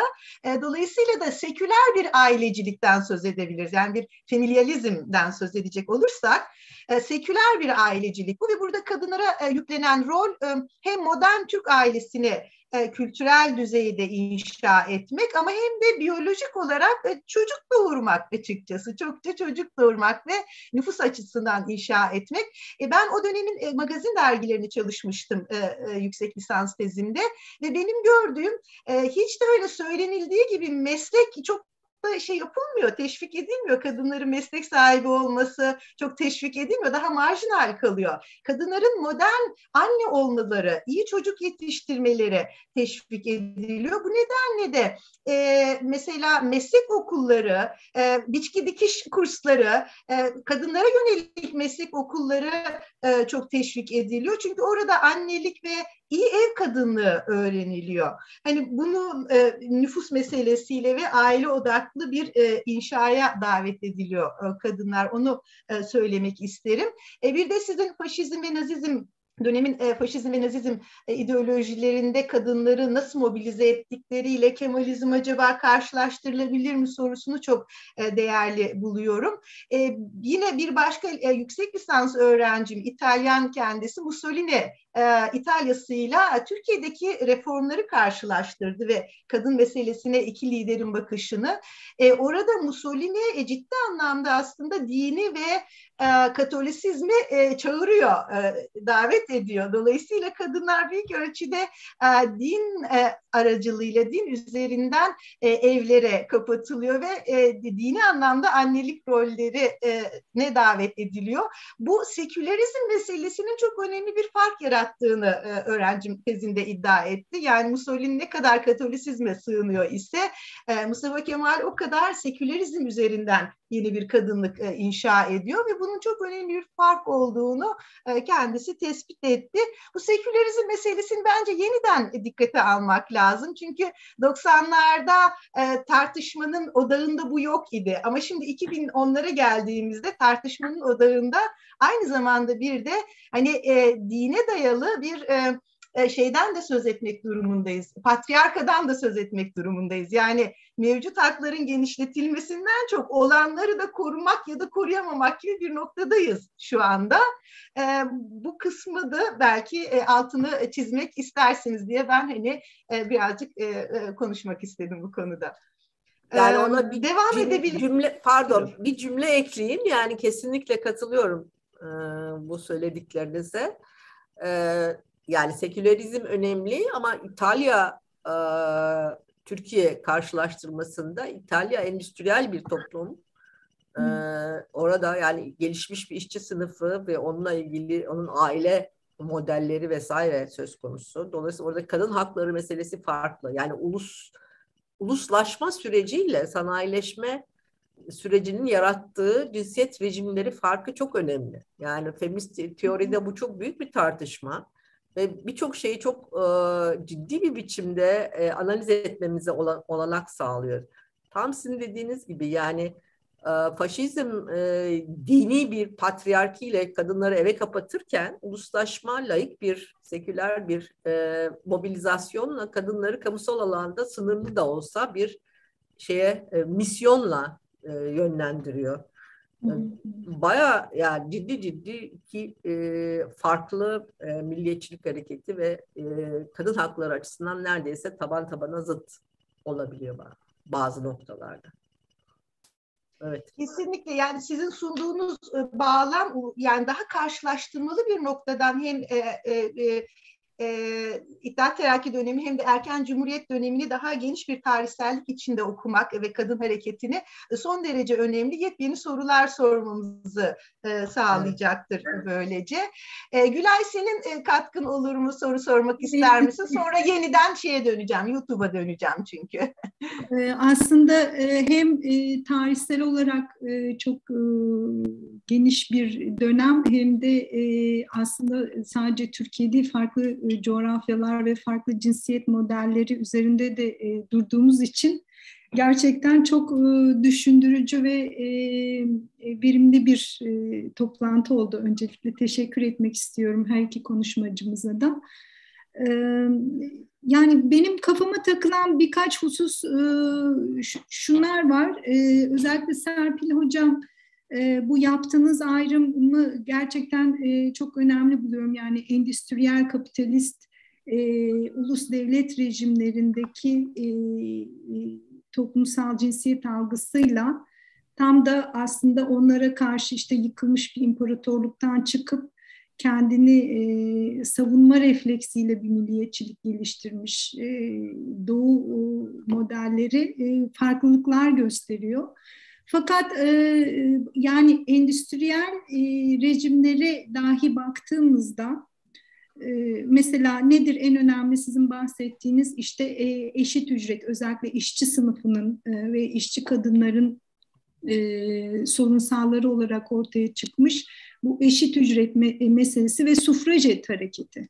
Ama yani sufrajet hareketinde bile hani İngiltere'de benim e, şimdi hatırlayabildiğim kadarıyla ancak ve ancak Dünya Savaşı'nda e, milliyetçi muhafazakar politikalara eklemlenerek e, sufrajet kadınlar bir takım oy hakkı e, taleplerini alabiliyorlar. Yani orada da bir yerden sonra o muhafazakar eril siyasetle bir işbirliğiyle e, değil mi Pankhurst'un mesela e, siyasetini takip ettiğimizde oy hakkının böyle kazanıldığını görüyoruz. E, şimdi bu geniş yelpaze içerisinde hani e, daha parlamenter ve demokratik diyebileceğimiz bu endüstriyel yapılarda da hal böyleyken Türkiye örneğine baktığımızda e, tam tersine böyle e, hani hep o söylediğimiz verilen bir e, verilen haklar silsilesi var. Yani bunun etkisini gerçekten karşılaştırmalı bir ölçmek, tekrardan değerlendirmek nasıl olur? Çünkü mesela Yaprak Hanım belirtti yani daha çok ikinci meşrutiyette söz söyleniyordu, daha çok yazı vardı, kadın haklarının ne olması gerektiğine dair, neler istendiğine dair diyor. Ama benim mesela hatıra, ha, hafızamda kalan işte eğitim hakkı değil mi, tek eşlilik, e, bir de burada muhafazakar bir dini yapının e, getirdiği kısıtlamalardan kurtulma meselesi de var.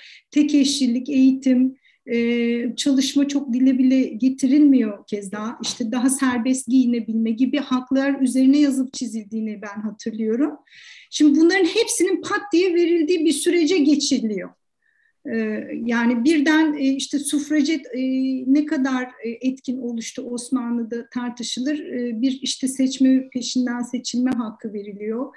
İşte kıyafet serbestiyesi, eğitim hakkı vesaire e, o, bu suskunluğa acaba ne kadar e, bu sebep vermiş olabilir veya ne kadar e, ortam hazırlamış olabilir? Çünkü mesela e, Yaprak da belirttiği gibi bir pozitif siyaset e, hatta belki de feminist kadınlar için veya işte daha geniş haklar isteyen herhangi bir kadın siyasetçi için temkinli siyaset e, mümkün olduğunca hakların kazanılabileceği bir temkinli siyaset bile denebilir. E, birden bu haklar verilince acaba e, bekleyip görmeyi mi tercih etti? E, yani o kırılmayı çok uzattım biliyorum ama o kırılmayı acaba belki e, bir daha sonraki dönemlere mi bakma, İkinci Dünya Savaşı dönemlerinde e, belki daha net bir kırılma mı görüyoruz kadınların suskunlaştırılması sürecinde acaba? Yani e, şunu e, belki e, konuşmak gerekir. E, kadınlara hakları pat diye verilmedi. Yani ona yani, itiraz ederim. e, yani e, yaprağın bütün e, çalışması yani hani Cumhuriyet öncesi döneminde çok e, yaygın kadın hakları talepleri vardı. E, işte kadınsız inkılap kitabında yani Doğru, başta siyasi haklar olmak üzere bütün haklar yani sayısız imza kampanyaları var. Evet. Kadınlara halk fırkası kurulmaya çalışılıyor falan filan. Bütün bunlar sönümleniyor. Niye? İşte savaş, milli mücadele, istila korkusu, sömürgeleşme korkusu, büyük kırılmalar. Yani e, kadın hakları ancak böyle hani daha sakin, daha şey dönemlerde e, ileri sürülebiliyor. Yani büyük kaos dönemleri, kriz kriz dönemleri daha güce, merkezi e, evet. merkezin etrafında hani bütün şeylerin toparlanmasına yol açıyor. e, dolayısıyla hani e, kadın haklarının zamanı değil, şimdi devletin e, güçlendirilmesinin zamanı. Ta bu şeye kadar devam ediyor. 1960'ların sonuna, 70'lerin ortasına hatta 90'lara kadar devam ediyor. Büyük suskunluk evet. dönemi. Ee, yani laiklik var, demokrasi var. Daha ne istiyorsunuz? İşte e, görünürde kadınlar da var. Eğitim hakkınız da var, çalışma hakkınız da var. Ee, istediğiniz gibi giyiniyorsunuz, dolaşıyorsunuz. Yani kadın hakları sorunu yok aslında. Öyle. Ee, söylemi yani e, egemen oluyor ya da kılınıyor. Ee, diğer Hı-hı. sesler daha marjinal kalıyor yani. Ee, ama bu sürecin ciddi bir siyaseten tekleşme, dışla, dışla, dışlama pratiği de getirdiğini biliyoruz. Yani e, Cumhuriyet'in kuruluş döneminin arkasından ciddi bir hani Demokrat Parti döneminin kadın hakları meselesinde tamamen tamamen yabancı olması. Bence önemli e, kırılma noktası odur. Yani kur, kuruluş döneminde hani bazı şeyler tamam e, olabilir ama konsolidasyon dönemi yani çok partili dönemin artık hani bunu aşması gerekiyordu ama tam tersine bir şey oldu. Yani, evet, evet. Dolayısıyla hani siyasal ideolojilerin e, yaklaşımların ne kadar e, belirleyici olduğunu gösteriyor bize. E, ama hani şeyin e, cumhuriyetçilik, e, modernistlik, laiklik de kadın hakları meselesini kurtarmıyor. Hı hı. kadın hakları, kadın erkek eşitliği meselesi bambaşka, daha bağımsız, bütün bunları yatay kesen, hakikaten olayın farkında olmayı gerektiren, daha gelişmiş endüstriyel toplumlar ile ortaya çıkacak, demokrasi meseleleriyle ortaya çıkacak bir sorun haline dönüşüyor. Eğer tarihsel olarak olumlu bir şeyiniz yoksa, dinamiğiniz yoksa. Evet, yani e, ben de e, onu belirteyim kesinlikle yani kadın erkek eşitliğiyle kadının modernleşmesi projelerinin birbirlerinden tamamen farklı şeyler olduğuna katılıyorum e, kesinlikle. E, sadece hani bu modernleşme projelerinin acaba e, e, bir anlamda e, hani olumlu bir şey yapmaya çalışırken e, hareketin kendisinde de olumsuz bir etki e, oluşturup oluşturmayacağını. Yani tabii ki dışlayıcı, muhafazakar bir eril e, yönetimin e, olduğunu biliyoruz ve her zaman var, hala da e, mevcut. Ama kadınlarda da belki e, bir farklılaşma veya farklı e, düşünceler ve yaklaşımlar yani olmuyor. Şöyle, yani kadın da kendisi belki muhafazakarlaşıyor o süreç içerisinde. Yani bir sürü kadın muhafazakar olabilir. Hani e, hatta hani savaş yanlısı olabilir. E, her şey olabilir. Yani kadınların barışçı, eşitlikçi olacağına dair hiçbir iddiamız Yok, olamaz zaten de. yani şey şunu şu e, kabul yanlış. Modernleşmecilik, cumhuriyetçilik otomatik olarak kadın erkek eşitliğini, kadın haklarını savunmayı getirmiyor. Dünyanın hiçbir yerinde getirmiyor. Evet. Dünyanın hiçbir yerinde getirmiyor. Modernleşmeciler eğer kadın hakları siyasetiyle ittifak kurabilirlerse, toplumu inşa etmek, devleti inşa etmek konusunda İskandinav ülkelerinde olduğu gibi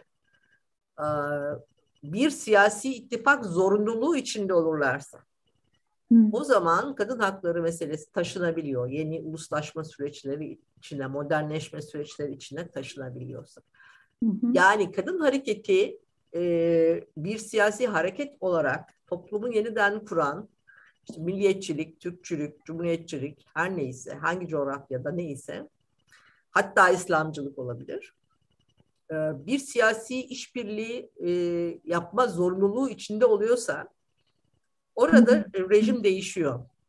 Böyle örnekler var dünyada. Eğer bu yoksa birbirine karşıt ve dışlayıcı bir pratik içine giriyorlarsa e, kadın hakları siyasette taşınmıyor. Yeni e, toplumsal, siyasal rejim inşalarına taşınmıyor. Yani bu çok önemli bir şey. Yani e, bir genelleme yapamıyoruz. Tamamen o dönemin siyasal aktörlerinin konfigürasyonuna bakmak gerekiyor. Nasıl işbirlikleri yapılıyor, nasıl çatışmalar ortaya çıkıyor. E, Türkiye Cumhuriyeti'nde feministlerle cumhuriyetçiler e, işbirliği yapamıyor. Hı. Ama açıktan da çatışmıyorlar. Yani e, Türk milliyetçiliği feminizmi yutuyor aslında. Yani biz kadın haklarını verdik. Başka da kadın haklarına gerek yoktur diye bir sönümleniş yaşanıyor yani. Hmm. Bunu başka coğrafyalarla da görüyoruz benzer olayları. Evet. Evet, çok, Son bir lütfen. soru sorayım bir daha bir şey, bir daha konuşmayacağım. lütfen devam edin lütfen. Ee, Latin Amerika e, üzerine de e, çalışmanız var. Acaba Latin Amerika'daki modellerle Türkiye'yi e, kısaca bir karşılaştırabilir misiniz? Benzerlikleri, farklılıkları üzerinden. Yani Latin Amerika'nın 19. yüzyılını çok iyi bilmiyorum. Latin Amerika tabii tamamen şey olarak farklı. Yani sömürgeleştirilmiş, e, büyük e, üretim plantasyonları e, nedeniyle işte kö kölelik vesaire gibi tamamen aslında farklı e, dinamikler var. Orta Doğu co coğrafyasından çok farklı. Dini olarak da üretim rejimi olarak da farklı. E, orada yani e, İslam dininin yarattığı hani e, ailenin dokunulmazlığı, kadının e, kapatılması, mahremiyet anlayışları olmadığı için aile rejimi çok farklı. Ee, Latin Amerika'da. Yani erkekleri yani tipik e, Latin Amerika e, pratik yani farklı ülkelerde farklı tabii. Erkekleri aile reisi olarak sorumlu tutmak patriarkinin hiç de becerebildiği bir iş değil. E, tam tersine en büyük sorun erkeklerin çekip gittiği, kadınların hani çocuklarla baş başa kaldığı, e, yoksul e, tek eşli e, kadınlık halleri e, gibi bambaşka bir pratik var. modernleşme bunu çözmeye çalışıyor ya da kadın hareketi bunu çözmeye çalışıyor. dolayısıyla yani çok birebir karşılaştıramıyoruz. orada çok grassroots dediğimiz yani taban hareketleri, yoksul kadın hareketleri, kadın hakları hareketi oradan çıkıyor. Terk edilmiş çocuklarla yalnız kalmış, eğitimsiz, e, işte doğru dürüst çalışma e, şeyi olmayan, e, geçim sağlayamayan kadınların, yoksul kadınların, köylü kadınların oluşturdukları e, kadın örgütlenmeleri e, belirleyici orada. Ve tabii ki sömürgecilik rejimi bambaşka bir şey. Yani biz bu grassroots hareketi Anadolu'da hiç görmüyoruz. Hiç görmüyoruz. Yoksul kadın hareketi diye bir şey yok. Yani köylü hareketi diye bir şey yok. Topraksız köylü kadın hareketi. Ee, terk edilmiş çocuklarıyla çocuklarını işte büyütmek zorunda kalmış sayısız kadın e, böyle bir şey yok yani. Dolayısıyla cinsiyet rejimi farklı konfigürasyonlara yol açıyor orada. Ee, bizim coğrafyamızda hem İslam'ın etkisi var hem küçük üreticilik, aile odaklı işletmeciliğin kadının e, hem ailede hem toprakta ücretsiz aile işçisi olarak çalışmasının oluşturduğu başka sosyolojiler var. E, farklı. Bilemiyorum. Yanıtı oldu mu? oldu. Teşekkür ederim. Sağ olun. Çok teşekkürler Serpil Hocam. Teşekkür ederim Gülay. E, Yaprak Hanım bir ara e, programdan ayrıldı internet e, sorunundan dolayı. Şimdi yeniden geldi. E, Yaprak Hanım sizi göremiyoruz. E, kameranızı açmanız mümkünse eğer o zaman görebileceğiz. Tabii. Merhabalar tekrar hoş geldiniz. Biz burada hayli yoğun bir e, tartışmayı beraber yürütüyoruz. E, şimdi sizinle de e, devam edebileceğiz. Evet. Bu yan, bir yandan da e, şeyler e, sorular var. Ben hem onları aktarayım hem de e, Yaprak Hanım belki sizler de daha önceki e, e, sorulara, yorumlara e, yenilerine yanıt vermek istersiniz. Onları aktarmak istiyorum şimdi. E, Onur Kır e, yorumlar e, ve soruları var. E, onlarla katılmış. Der ki Batı modernleşmesi yaşayan Doğu toplumlarında kadınların toplumsal rolleri, cemiyet ve siyasi hayatları izlendiğinde kadınların eril siyaset tarafından ulus devlet modernleşmesinin ontolojik bir öznesi olmaktan öte modernleşmenin politik öznesi olarak konumlandığını söylemek mümkün müdür? E, diyor. Anlaşıldığımı bilemedim. E, Peki e, tekrar bakayım. Batı modernleşmesi yaşayan Doğu toplumlarında kadınların toplumsal rolleri, cemiyet ve siyasi hayatları izlendiğinde kadınların eril siyaset tarafından ulus devlet modernleşmesinin ontolojik bir öznesi olmaktan öte modernleşmenin politik öznesi olarak konumlandığını söylemek mümkün müdür? Yani acaba politik özne mi e, kadınlar evet, bu evet. toplumlarda yoksa ontolojik olarak özne kılınıyorlar mı? Ya, bu bana sorulmuş bir soru mu yoksa genel olarak? Yani, genel olarak Serpil Hocam.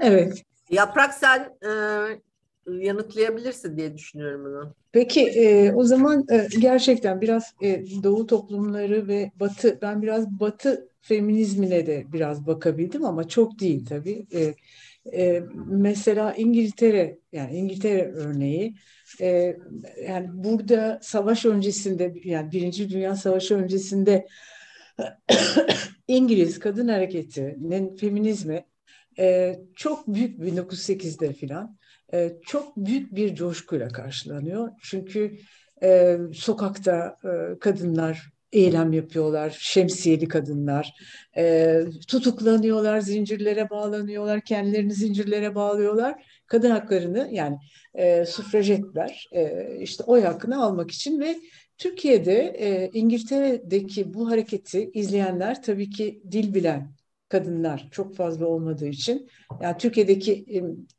e, eğitimde dil bilimi daha çok yani dil bilmek İngilizce üzerine değil ama daha çok Fransızca, Almanca gibi. E, erkek e, yani Avrupa'ya gönderilmiş bazı e, erkek e, öğrenciler yüksek tahsil için e, orada tabii ki o e, hareketten ve feminist mücadeleden etkileniyorlar. Bunların bir kısmı Londra'ya gitmese bile Paris'te daha çok Fransa'ya gidiyor. Oradan yani basından bu hareketi takip edebiliyorlar. Ve Türkiye'ye dönüp döndüklerinde e, bu feminist e, mücadeleleri çeşitli yerlerde Fransa'da, Fransa'da daha az tabii ama İngiliz feminizmini e, hakikaten çok iyi bir şekilde anlatıyorlar. Böyle dizi yazılarda uzun uzun e, işte e, neler söyleniyor, amaçları nedir falan gibi. E, bazıları takma isimle bunları yazıyor ama e, çoğu da yani o dönemde tanınmış isimler. E, bir de bu yönden bakarsak e, yani İngiliz feminizminin şeyine burada bir ara verip bir parantez açıp e, Kafkasya yani 1905 Rus devrimiyle beraber e, Türkiye yani bu iki devrim arasında 1909 devrimiyle 1905 devrimi arasında e, bir bağlantı var. E, şeyi gördüm çok yani 1905 devriminin 1908'i yapanlara e, yapanlar üzerindeki etkisini gördüm. Bu etki aynı zamanda e, e, Sovyetler daha doğrusu Rusya'nın daha altındaki devletler yani Kafkasya'da falan gibi e, Türkiye Cumhuriyetler olarak bugün adlandırılan o zaman da e, Rusya'nın bir parçası olan e, Orta Asya'daki topluluklar içindeki Türkler kendilerini Türk hissedenler tarafından da Türkiye'ye taşınıyor. E, bu hem e, 1905 sonrasında hem de e, 1908 sonrasında ve giderek devam eden bir akın akım var. E, oradaki e, dışlanmaları, dışlanmalarına, e, Türk olarak kabul edilmemelerine karşı bir tepkiyle e, Türkiye'ye geliyorlar, daha çok İstanbul'a e, ve burada yazılarla, onların da yazıları yine kadın hakları. Çünkü bir yandan e, yani 1917'deki e, Bolşevik devrimi olmuş, pek çok şey değişmiş ve daha öncesinde de bir e, kadın hakları mücadelesi Rusya'da var ve e, bu nedenle oradan da bir etkilenme var. Bir bir yandan da bir okta oradan geliyor. Bir yandan İngiliz feminizmi, Batı, bir yandan e, yeni e, modernleşmeye çalışan çok önemli bir ülke, e, bir çok büyük bir ülke Rusya'nın Rusya'daki önemli hareketler, inkılaplar. E, Türkiye'de bu kadar çok e, övülen İngiliz feminizmi hatta bir yerde şey okudum. Türkiye'deki feministler İngiliz feministlerini taklit yani onu özenirler. Onu o, onlar gibi olmak istediler ve isterler e, diye bir yazıda da geçiyordu. Ama İngilizler mesela İngiliz feminizmi hakikaten Birinci Dünya Savaşı'nda e, şeyi görüyoruz. Yani e, hükümetlerle e, bir anlaşma yapıyorlar ve bir süre sonra e, hükümetin yaptığı hiçbir şeye e, karşı çıkmıyorlar. Yani sanki yani o hakkı alındıktan sonra Birinci Dünya Savaşı'nda doğrudan İngiliz hükümetlerinin ve diğer şeylerin yani o, Fransızlar yani bir yerde Avrupa hükümetlerinin e, e, şeyine giriyorlar diyeyim. Ama bir yandan da tabii ki feminist hareket sürüyor. Ama bin, yani Birinci Dünya Savaşı'ndan sonra yavaş yavaş bir e, azalma da görülüyor ve daha doğrusu devlet yanlısı e, bir feminizme doğru kayıyorlar. Mesela buradaki 1935 kongresinde de kadınların yani e, Batı Batı Avrupa ülkelerinden gelen kadınların bir böyle bir devletçi ve kendi devletlerinin politikalarını savunmalarına da şahit oluyorduk. E, böyle bir şey yani e, böyle bir karşılaştırma yapabilirim. Ama Doğu ülkelerindeki yani ben şimdi Asya'yı falan bilmiyorum ama yani Kafkasya'da, Türkistan'da Doğu sayılabilir ama Avrupa'nın hemen kıyısında olduğu için de bir yandan da hem Rusya bağlantılı hem Avrupa kıyısında olduğu için Türkiye'de böyle bir ülke. E, tabii ki e, oradaki e, kadın hakları e, e, mücadelelerinden etkilenmiş bir toplum. E, mesela Türkistan'da Türkiye'deki e, Türkiye'deki Cumhuriyet İnkılabı'ndan önce kadınlar e, bayağı büyük haklar elde ediyorlar ve oradan gelen erkek yazarlar ve bazı kadınlar da kendileri gelerek e, Kafkasya'daki ve bu işte Orta Asya'daki e, ülkelerde Kazakistan olsun işte o zaman şimdiki adlarıyla değil ama o zamanki topluluklarda e, Türkiye topluluklarda e, çok daha Türkiye'den çok daha önce e, kadın haklarını yani oy hakkını falan elde ettiğini e, meclise girdi, belediye meclislerine girdiklerini görüyoruz. E, bu da bir model yaratıyor. Yani e, Türkiye'deki harekette. E, ama e, iktidarların ele alış biçimi, erkek eril iktidarların dediği dediğiniz gibi biraz önce de konuşulduğu gibi ve yani Şirin Teker'in de bir zamanlar çok iyi bir şekilde gösterdiği gibi bir araç araç sallaştırıcı model. Yani kadını kadın olarak yani bir araç olarak nedir? Devletin işte ne kadar modern olduğunu, bu insanların, bu hükümetleri yapanların, diktatör veya demokrat olsun, ne kadar kadın haklarından yana de o halde demokrat olduğunu göstergesi ve yani bir tür araçsallaştırılıyor erkek topluluklar tarafından. Dünyanın her yerinde de biraz böyle.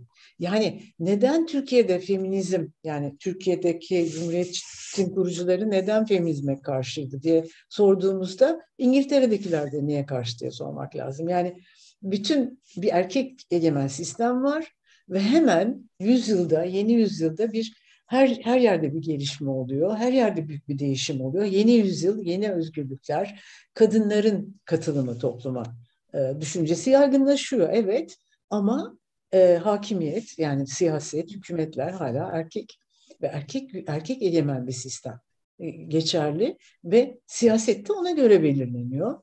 E, e, temsil de ona göre belirleniyor. Kadınların rolleri de işte annelikten başlayıp iyi iyi vatandaşlar olmak, hayır kurumlarında çalışmaları, eğitmen yani mutlaka kadınları eğitmeleri falan gibi rollerle annelik vazifeleri falan gibi rollerle her yerde aynı şekilde sınırlandırılıyor. Türkiye'deki e, modelde ise kurucuların yaşamlarına baktığımda ve ikinci meşruiyet döneminin e, yani kadın haklarına karşı olmayan çok insan var, çok erkek var. Mesela Cenab Şahabettin dönemin çok böyle parlak yazarlarından biri. Herkesin hayranlık duyduğu. Mesela bir eseri var lezbiyen kadınlar üzerine. Yani lezbiyenlerin aşkını anlattı. Yani cesur, radikal bir adam. Yaz, önemli bir yazar. İşte bu hani Halide Edip'in e, bahsettiği ikinci meşrutiyet döneminin yeni edebiyatçılarından biri. Genç. E, fakat kendi hayatında öyle aman aman bir e, yani çok büyük bir değişiklikten yana olduğunu düşünmüyoruz. Mesela bunu aralarındaki yazışmalardan anlıyoruz. Diyorlar ki erkekler bir yandan birbirlerini eleştiriyorlar basında. Efendim e, yani bir yandan e, kadın haklarını savunuyorsunuz bir yandan da eşlerinizi mesela ben eşimin yüzünün herkes tarafından görülmesini istemem gibi bir e, şeyde söyleyebiliyorlar.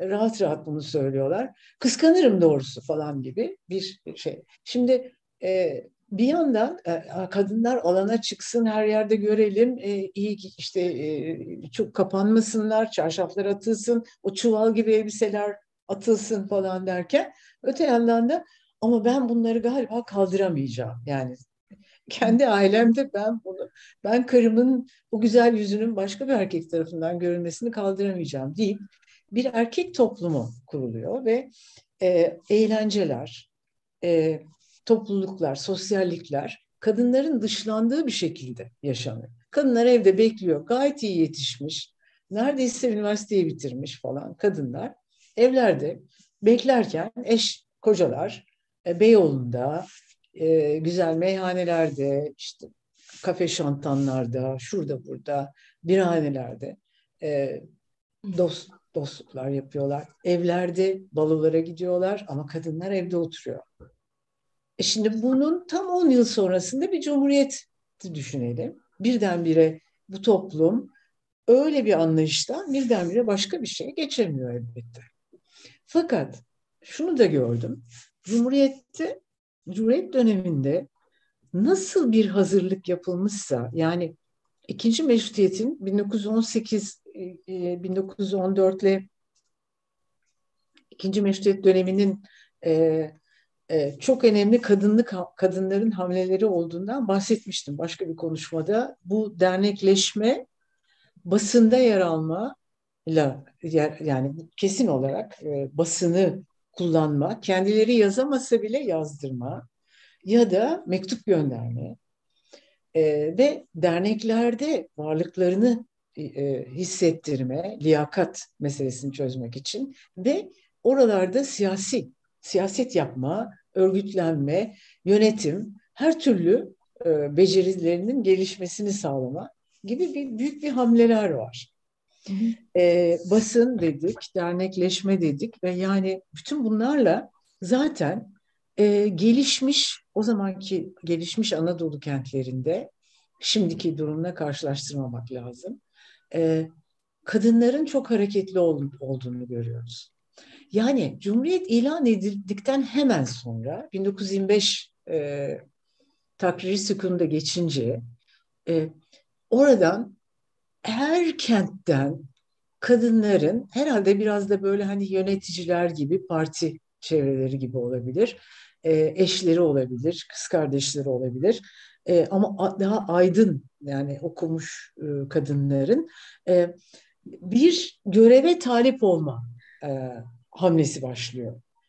Her kentte, Konya'da, her yerden haberler geliyor ve bunu gazetelerde küçük haberlerle yazılıyor bunlar.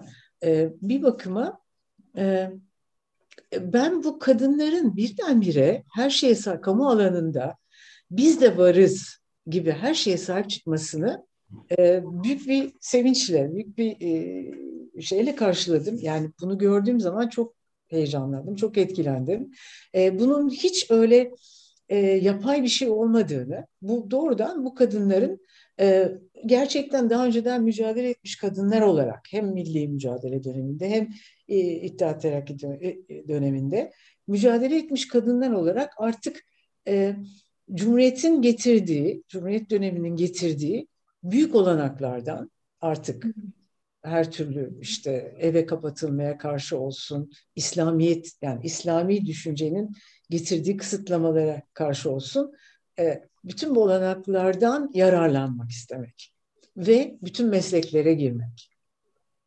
Yani işte kadınların üçüncü hamlesi de eğitimde, ikinci meşrutiyette.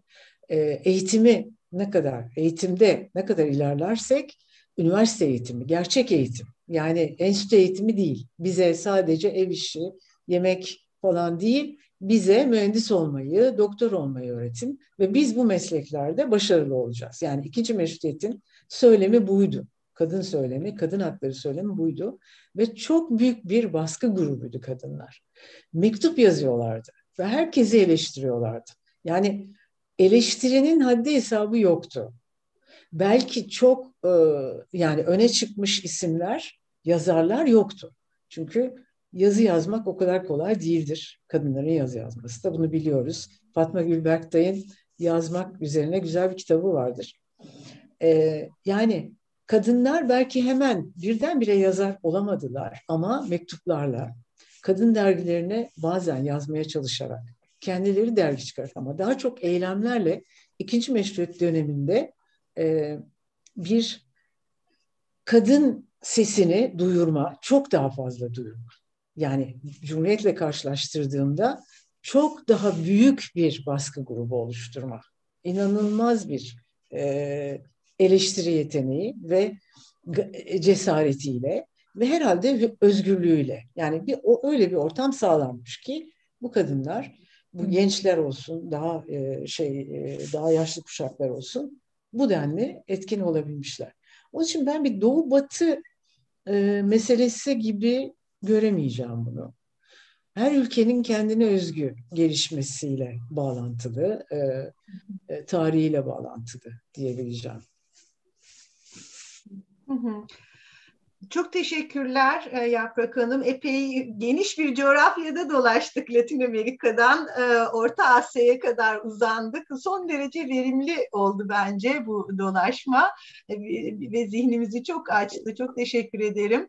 Ee, yine sorular var, onlara geçeceğim ama burada bir iki noktaya e, tekrar e, dönmek istiyorum. E, çok kentli bir hareketten söz ediyoruz, orta sınıf hareketinden söz ediyoruz bir yandan, okur yazar kadınlardan ve e, işte dernekleşme, yayın yapma, dergiler üzerinden bir araya gelen kadınlardan söz ediyoruz. Onlar e, görünürlük kazanıyorlar. Dolayısıyla da e, doğal olarak kadın e, hareketi ya da feminist hareket içinde e, onların varlığından söz ediyoruz. E, Serpil Hocam Hocam biraz değindi e, Latin Amerika'daki yoksul kadınlar, yoksul ve tek başına çocuklarını büyütmek zorunda kalan kadınların kadınlara dayalı bir hareketten.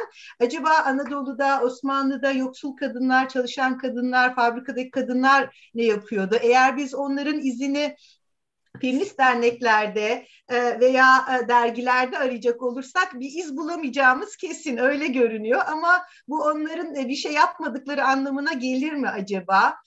Nitekim özellikle Birinci Dünya Savaşı çalışmaları bize kadınların, asker ailelerinin, dul kadınların, yoksul kadınların dilekçeler üzerinden devlete çok sayıda talep gönderdiğini, bayağı sıkı pazarlıklar yaptığını, devlete patriarkal rolünü, koruma rolünü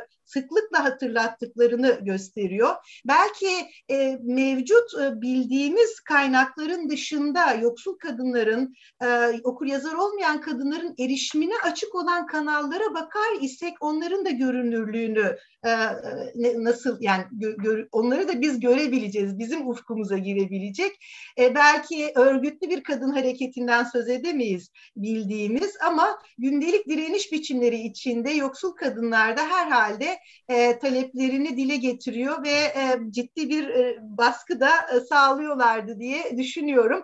Hani bir onlara bakmak faydalı olabilir. Yoksul kadınların e, erişebildikleri kanallar üzerinden kendilerini nasıl e, ifade ettikleri, devletle ne türden ilişkilere e, girdikleri özellikle de kriz dönemlerinde yani savaş, açlık, yoksulluk, hastalık, terk edilme dönemlerinde e, Serpil Hoca'nın Latin Amerika'daki yoksul kadınlar e, hareketine değinisi bana bunu hatırlattı. E, dilekçeler ve e, Anadolu'daki yoksul kadınlar e, meselesini.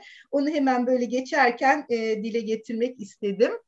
E, bunun dışında e, yine döneriz belki bu konuya. Onur Kır'dan, Onur Kır'ın evet sorusundan söz ettik. E, şimdi Cihan Kara'ya ben bakıyorum. E, ne diyor Cihan Kara? Son dönemdeki çalışmaların bazılarında erken cumhuriyet döneminde kadın hareketinin sönümlendiği söylemine yönelik itirazlar görülüyor. Bunlarla ilgili ne düşünüyorsunuz acaba? Yani bu dönemde ha, yine de bir kadın hareketinden söz edebilir miyiz erken cumhuriyet döneminde? Valla ben ben bilmiyorum. Yaprak biliyor mu? Yani e, bilemiyorum. Yani o 30'lardan itibaren hani e, bir e, kayda değer bir şey olduğunu ben bilmiyorum. Örgütlenme olduğunu ve e, yani dernekleşme, yayınlar, e, siyasi olarak görünür eylemler olduğunu bilmiyorum. Bilmiyorum belki Yaprak e, o konuda bir bilgiye sahiptir. var mı Yaprak? Ee, yani e, sönümlenme mi yoksa e, açılmadan mı bahsediyor? Ben tam anlayamadım ya, soruyu. Kadın yani... hareketinin sönümlendiği söylemine yönelik itirazlar var. Hayır sönümlenmedi. Evet. Hmm, tamam şimdi güzel var. anladım. Evet. Ee, e, şimdi gerçekten e, öyle bir şey var. Yani e, e, ben Latife Bekir çeyrek başını çalışırken gördüğüm şeyler.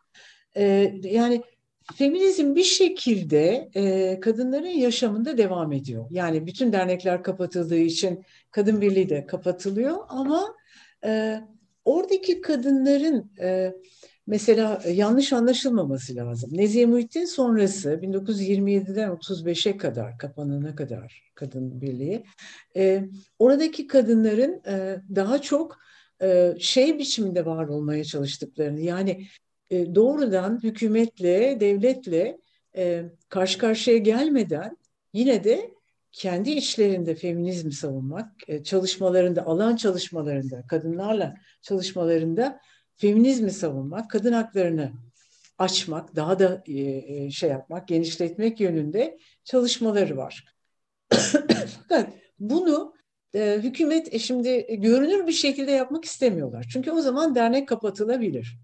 Bunu söylem olarak dışarıda e, biz e, hayır derneği olarak çalışacağız. Bundan sonra siyaset, kadın siyaseti yapmayacağız.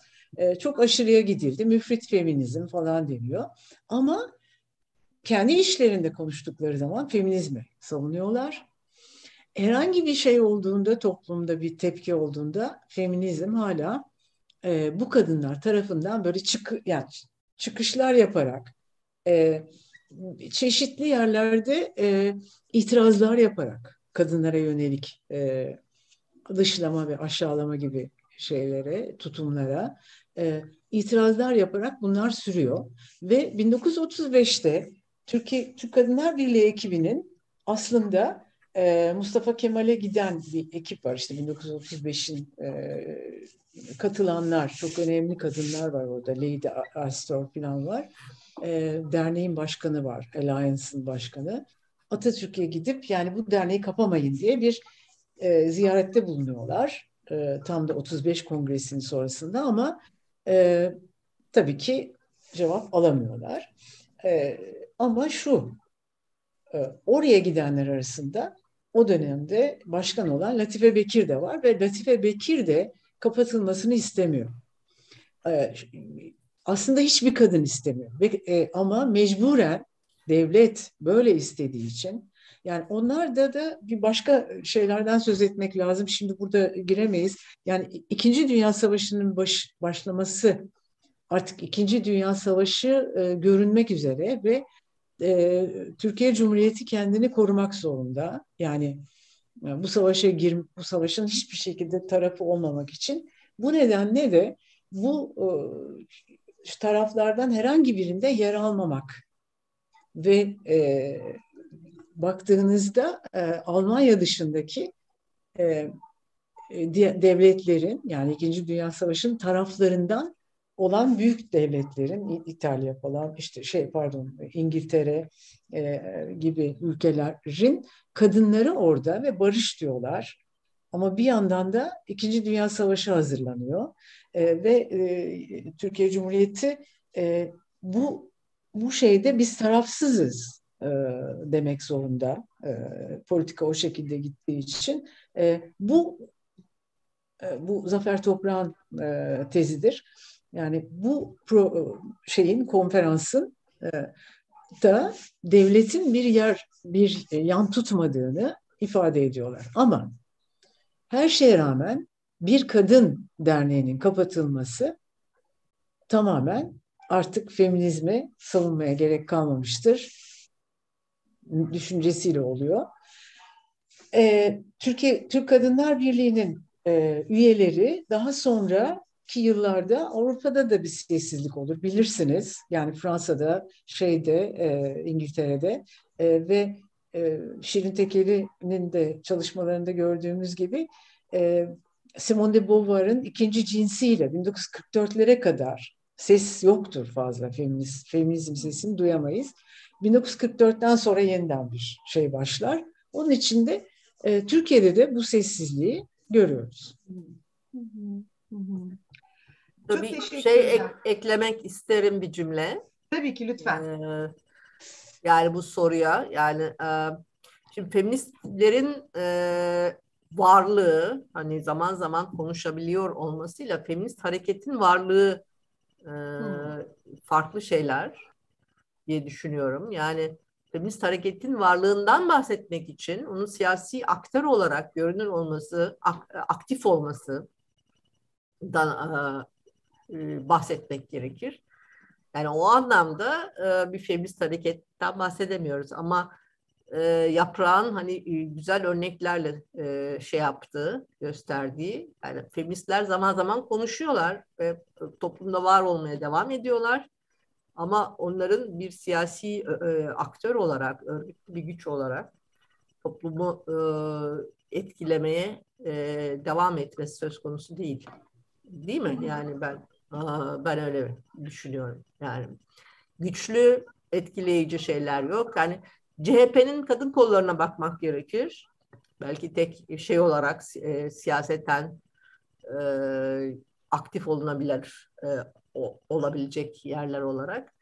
O da bir ayrı mesele yani. O da bir feminist hareket olarak tanımlanamaz yani. Hı hı hı. Ee, bir iki soru daha var, onları da iletmek isterim. Ee, Cihan Kara e, yine aynı dönemle ilgili şunu soruyor. Son dönemki çalışmaların bazıları, pardon Cihan Kara'dan söz ettik. Ali Can e, Ok'tan, evet onun sorusunu e, ileteyim. E, bu Cumhuriyet'in ilk kurulduğu dönemle alakalı değil mi? Okuma yazma oranının bu kadar düşük olduğu berbat bir imparatorluktan çıkmış bir Cumhuriyet'in ilk meclislerinde kadın nasıl nasıl kadın olmaz denilebilir mi e, diyor. E, ne dersiniz? yani bu bunu hocaya bırakıyorum ben bunu. bunu beklemek e, fazla değil mi e, diyor. Valla hep e, kadınların yokluğuna bir mazeretimiz var ne diyelim. Yani ya eğitimsizlik ya yoksulluk ya savaş her zaman bir gerekçe var. Ee, bu sorumuz e, meşru bir soru. Niye yok? Hala onu soruyoruz. Sormaya devam edeceğiz. Evet, üstelik de bu kadar güçlü bir kadın hareketinin üstüne hala e, olmaması asıl sorun. Yani 1910'larda kıyametler koparken e, nasıl oluyor da 20'lerde kadın hareketi e, e, sönümleniyor. Ee, ya, tam pardon ben 9 gibi ayrılmak zorundayım ya. Evet. Yani çok fazla soru var mı hala? E, son soruyu alıp e, kapatabiliriz. tamam. E, Levent Kurumlu 90'lı yıllar sonrasındaki kaygılar Cumhuriyet'in ilk yıllarındaki susturmayla doğru orantılı değil mi? Çalı Kuşu romanının sonunda ev kuşu olur. Çalı kuşu romanın sonunda ev kuşu olur, ehlileştirilir, terbiye edilir ve evcilleştirilir. Daha sonrasında bu hanımdan ne kadar bağımsız olmasını bekleyebiliriz diyor. Ee, biraz evet yorumluyor sanırım. Ee, Yaprak Hanım bir şey demek ister misiniz yine? Veya Serpil Hanım. Ee, evet, kadınların ehlileştirilmesi doğru bir tanım. Yani e, bu özellikle e, 1940 sonrasında e, yeni kuşaklar geldiğinde yani yeni erkek yazarlar, gazeteciler e, baktığımızda mesela basında hani e, meşrutiyet döneminde 1908 kadar eski bir dönemde bu kadar kadınlık üzerine, kadın hakları üzerine bu kadar büyük bir literatür varken, bu kadar yazın, bu kadar tartışma, e, fikir, tartışma, fikir, düşünce şeyi, e, ortamı varken e, mesela Cumhuriyet'in e, bir Cumhuriyet'i ele alalım. Cumhuriyet Gazetesi'nde hiçbir şey yok. Tek bir kelime geçmiyor. Yani kadınlar da şöyledir ya da kadınlarla ilgili şöyle bir şey vardır yani falan. Yani bırakın feminizmi, kadın sözünü, kadın mesela bazı kadın yazarların ben kadın yazar olarak anılmak istemiyorum dediklerini hatırlıyorum tam da o dönemin ağır o şeyiyle yani suskunluk ve ehlileştirilmesi, kadınların ehlileştirilmesi çok doğru bir terim.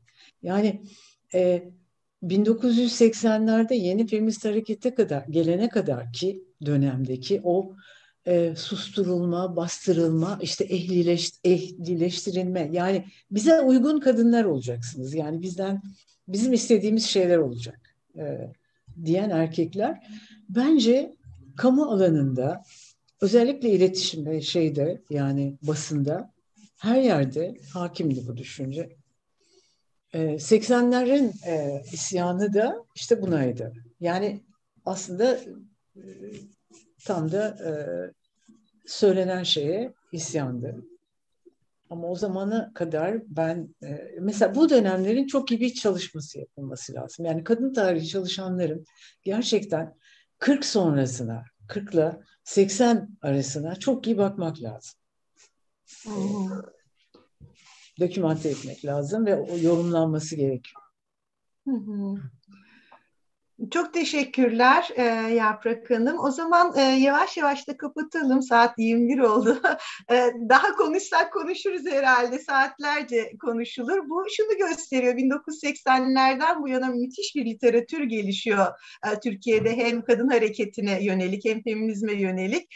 E, üzerinden neredeyse 40 yıl geçti. İki kuşak çalıştı. Demek ki kuşaklar boyunca biz bu dönemleri çalışmaya devam edeceğiz. Çünkü ta iliklerimizde hissettiğimiz eşitsizlik sorunumuz devam ediyor.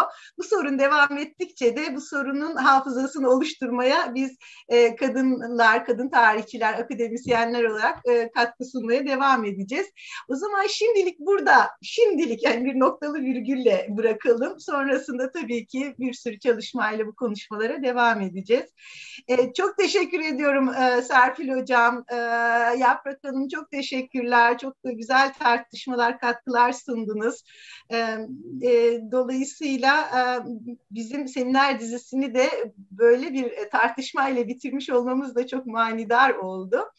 8 e, Mart'ta başlatmıştık ve yine kadınlar üzerine konuşarak e, bitiriyoruz. E, iki hafta sonra ise bir açık oturumumuz olacak ya da yuvarlak masamız olacak. Üç tartışmacı, üç konuşmacımız olacak ve yine beş yaklaşık tartışmacımızla biraz e, feminist metodoloji konuşacağız ve feminist metodolojinin tartışacağız. İki hafta sonra da çok canlı bir tartışma olacağını ben e, umuyorum. E, o tartışmaya da dolayısıyla e, yine herkesi davet ediyorum. E, ben şimdi son sözü de Gülay'a bırakayım. Gülay da kapanışı yapsın. Buyur Gülay. Ses yok, sesin kapalı. Ee, sabrınızdan ötürü çok e, teşekkür ediyorum Sayın Yaprak Zihnioğlu, Serpil Sancar. Katılımınız gerçekten e, aklı kısa içinde çok büyük bir e, kazanç oldu. Çok güzel tartışmalar oldu. İki hafta sonra tekrar e, aklı kısada artık son program için e, bekliyorum tüm izleyicileri. İyi akşamlar herkese. İyi, İyi akşamlar herkese. İyi akşamlar. Hoşçakalın. Hepimiz tek tek çıkmak durumundayız. Onu da hatırlatayım. İyi akşamlar diliyorum. Hoşçakalın. Bye bye.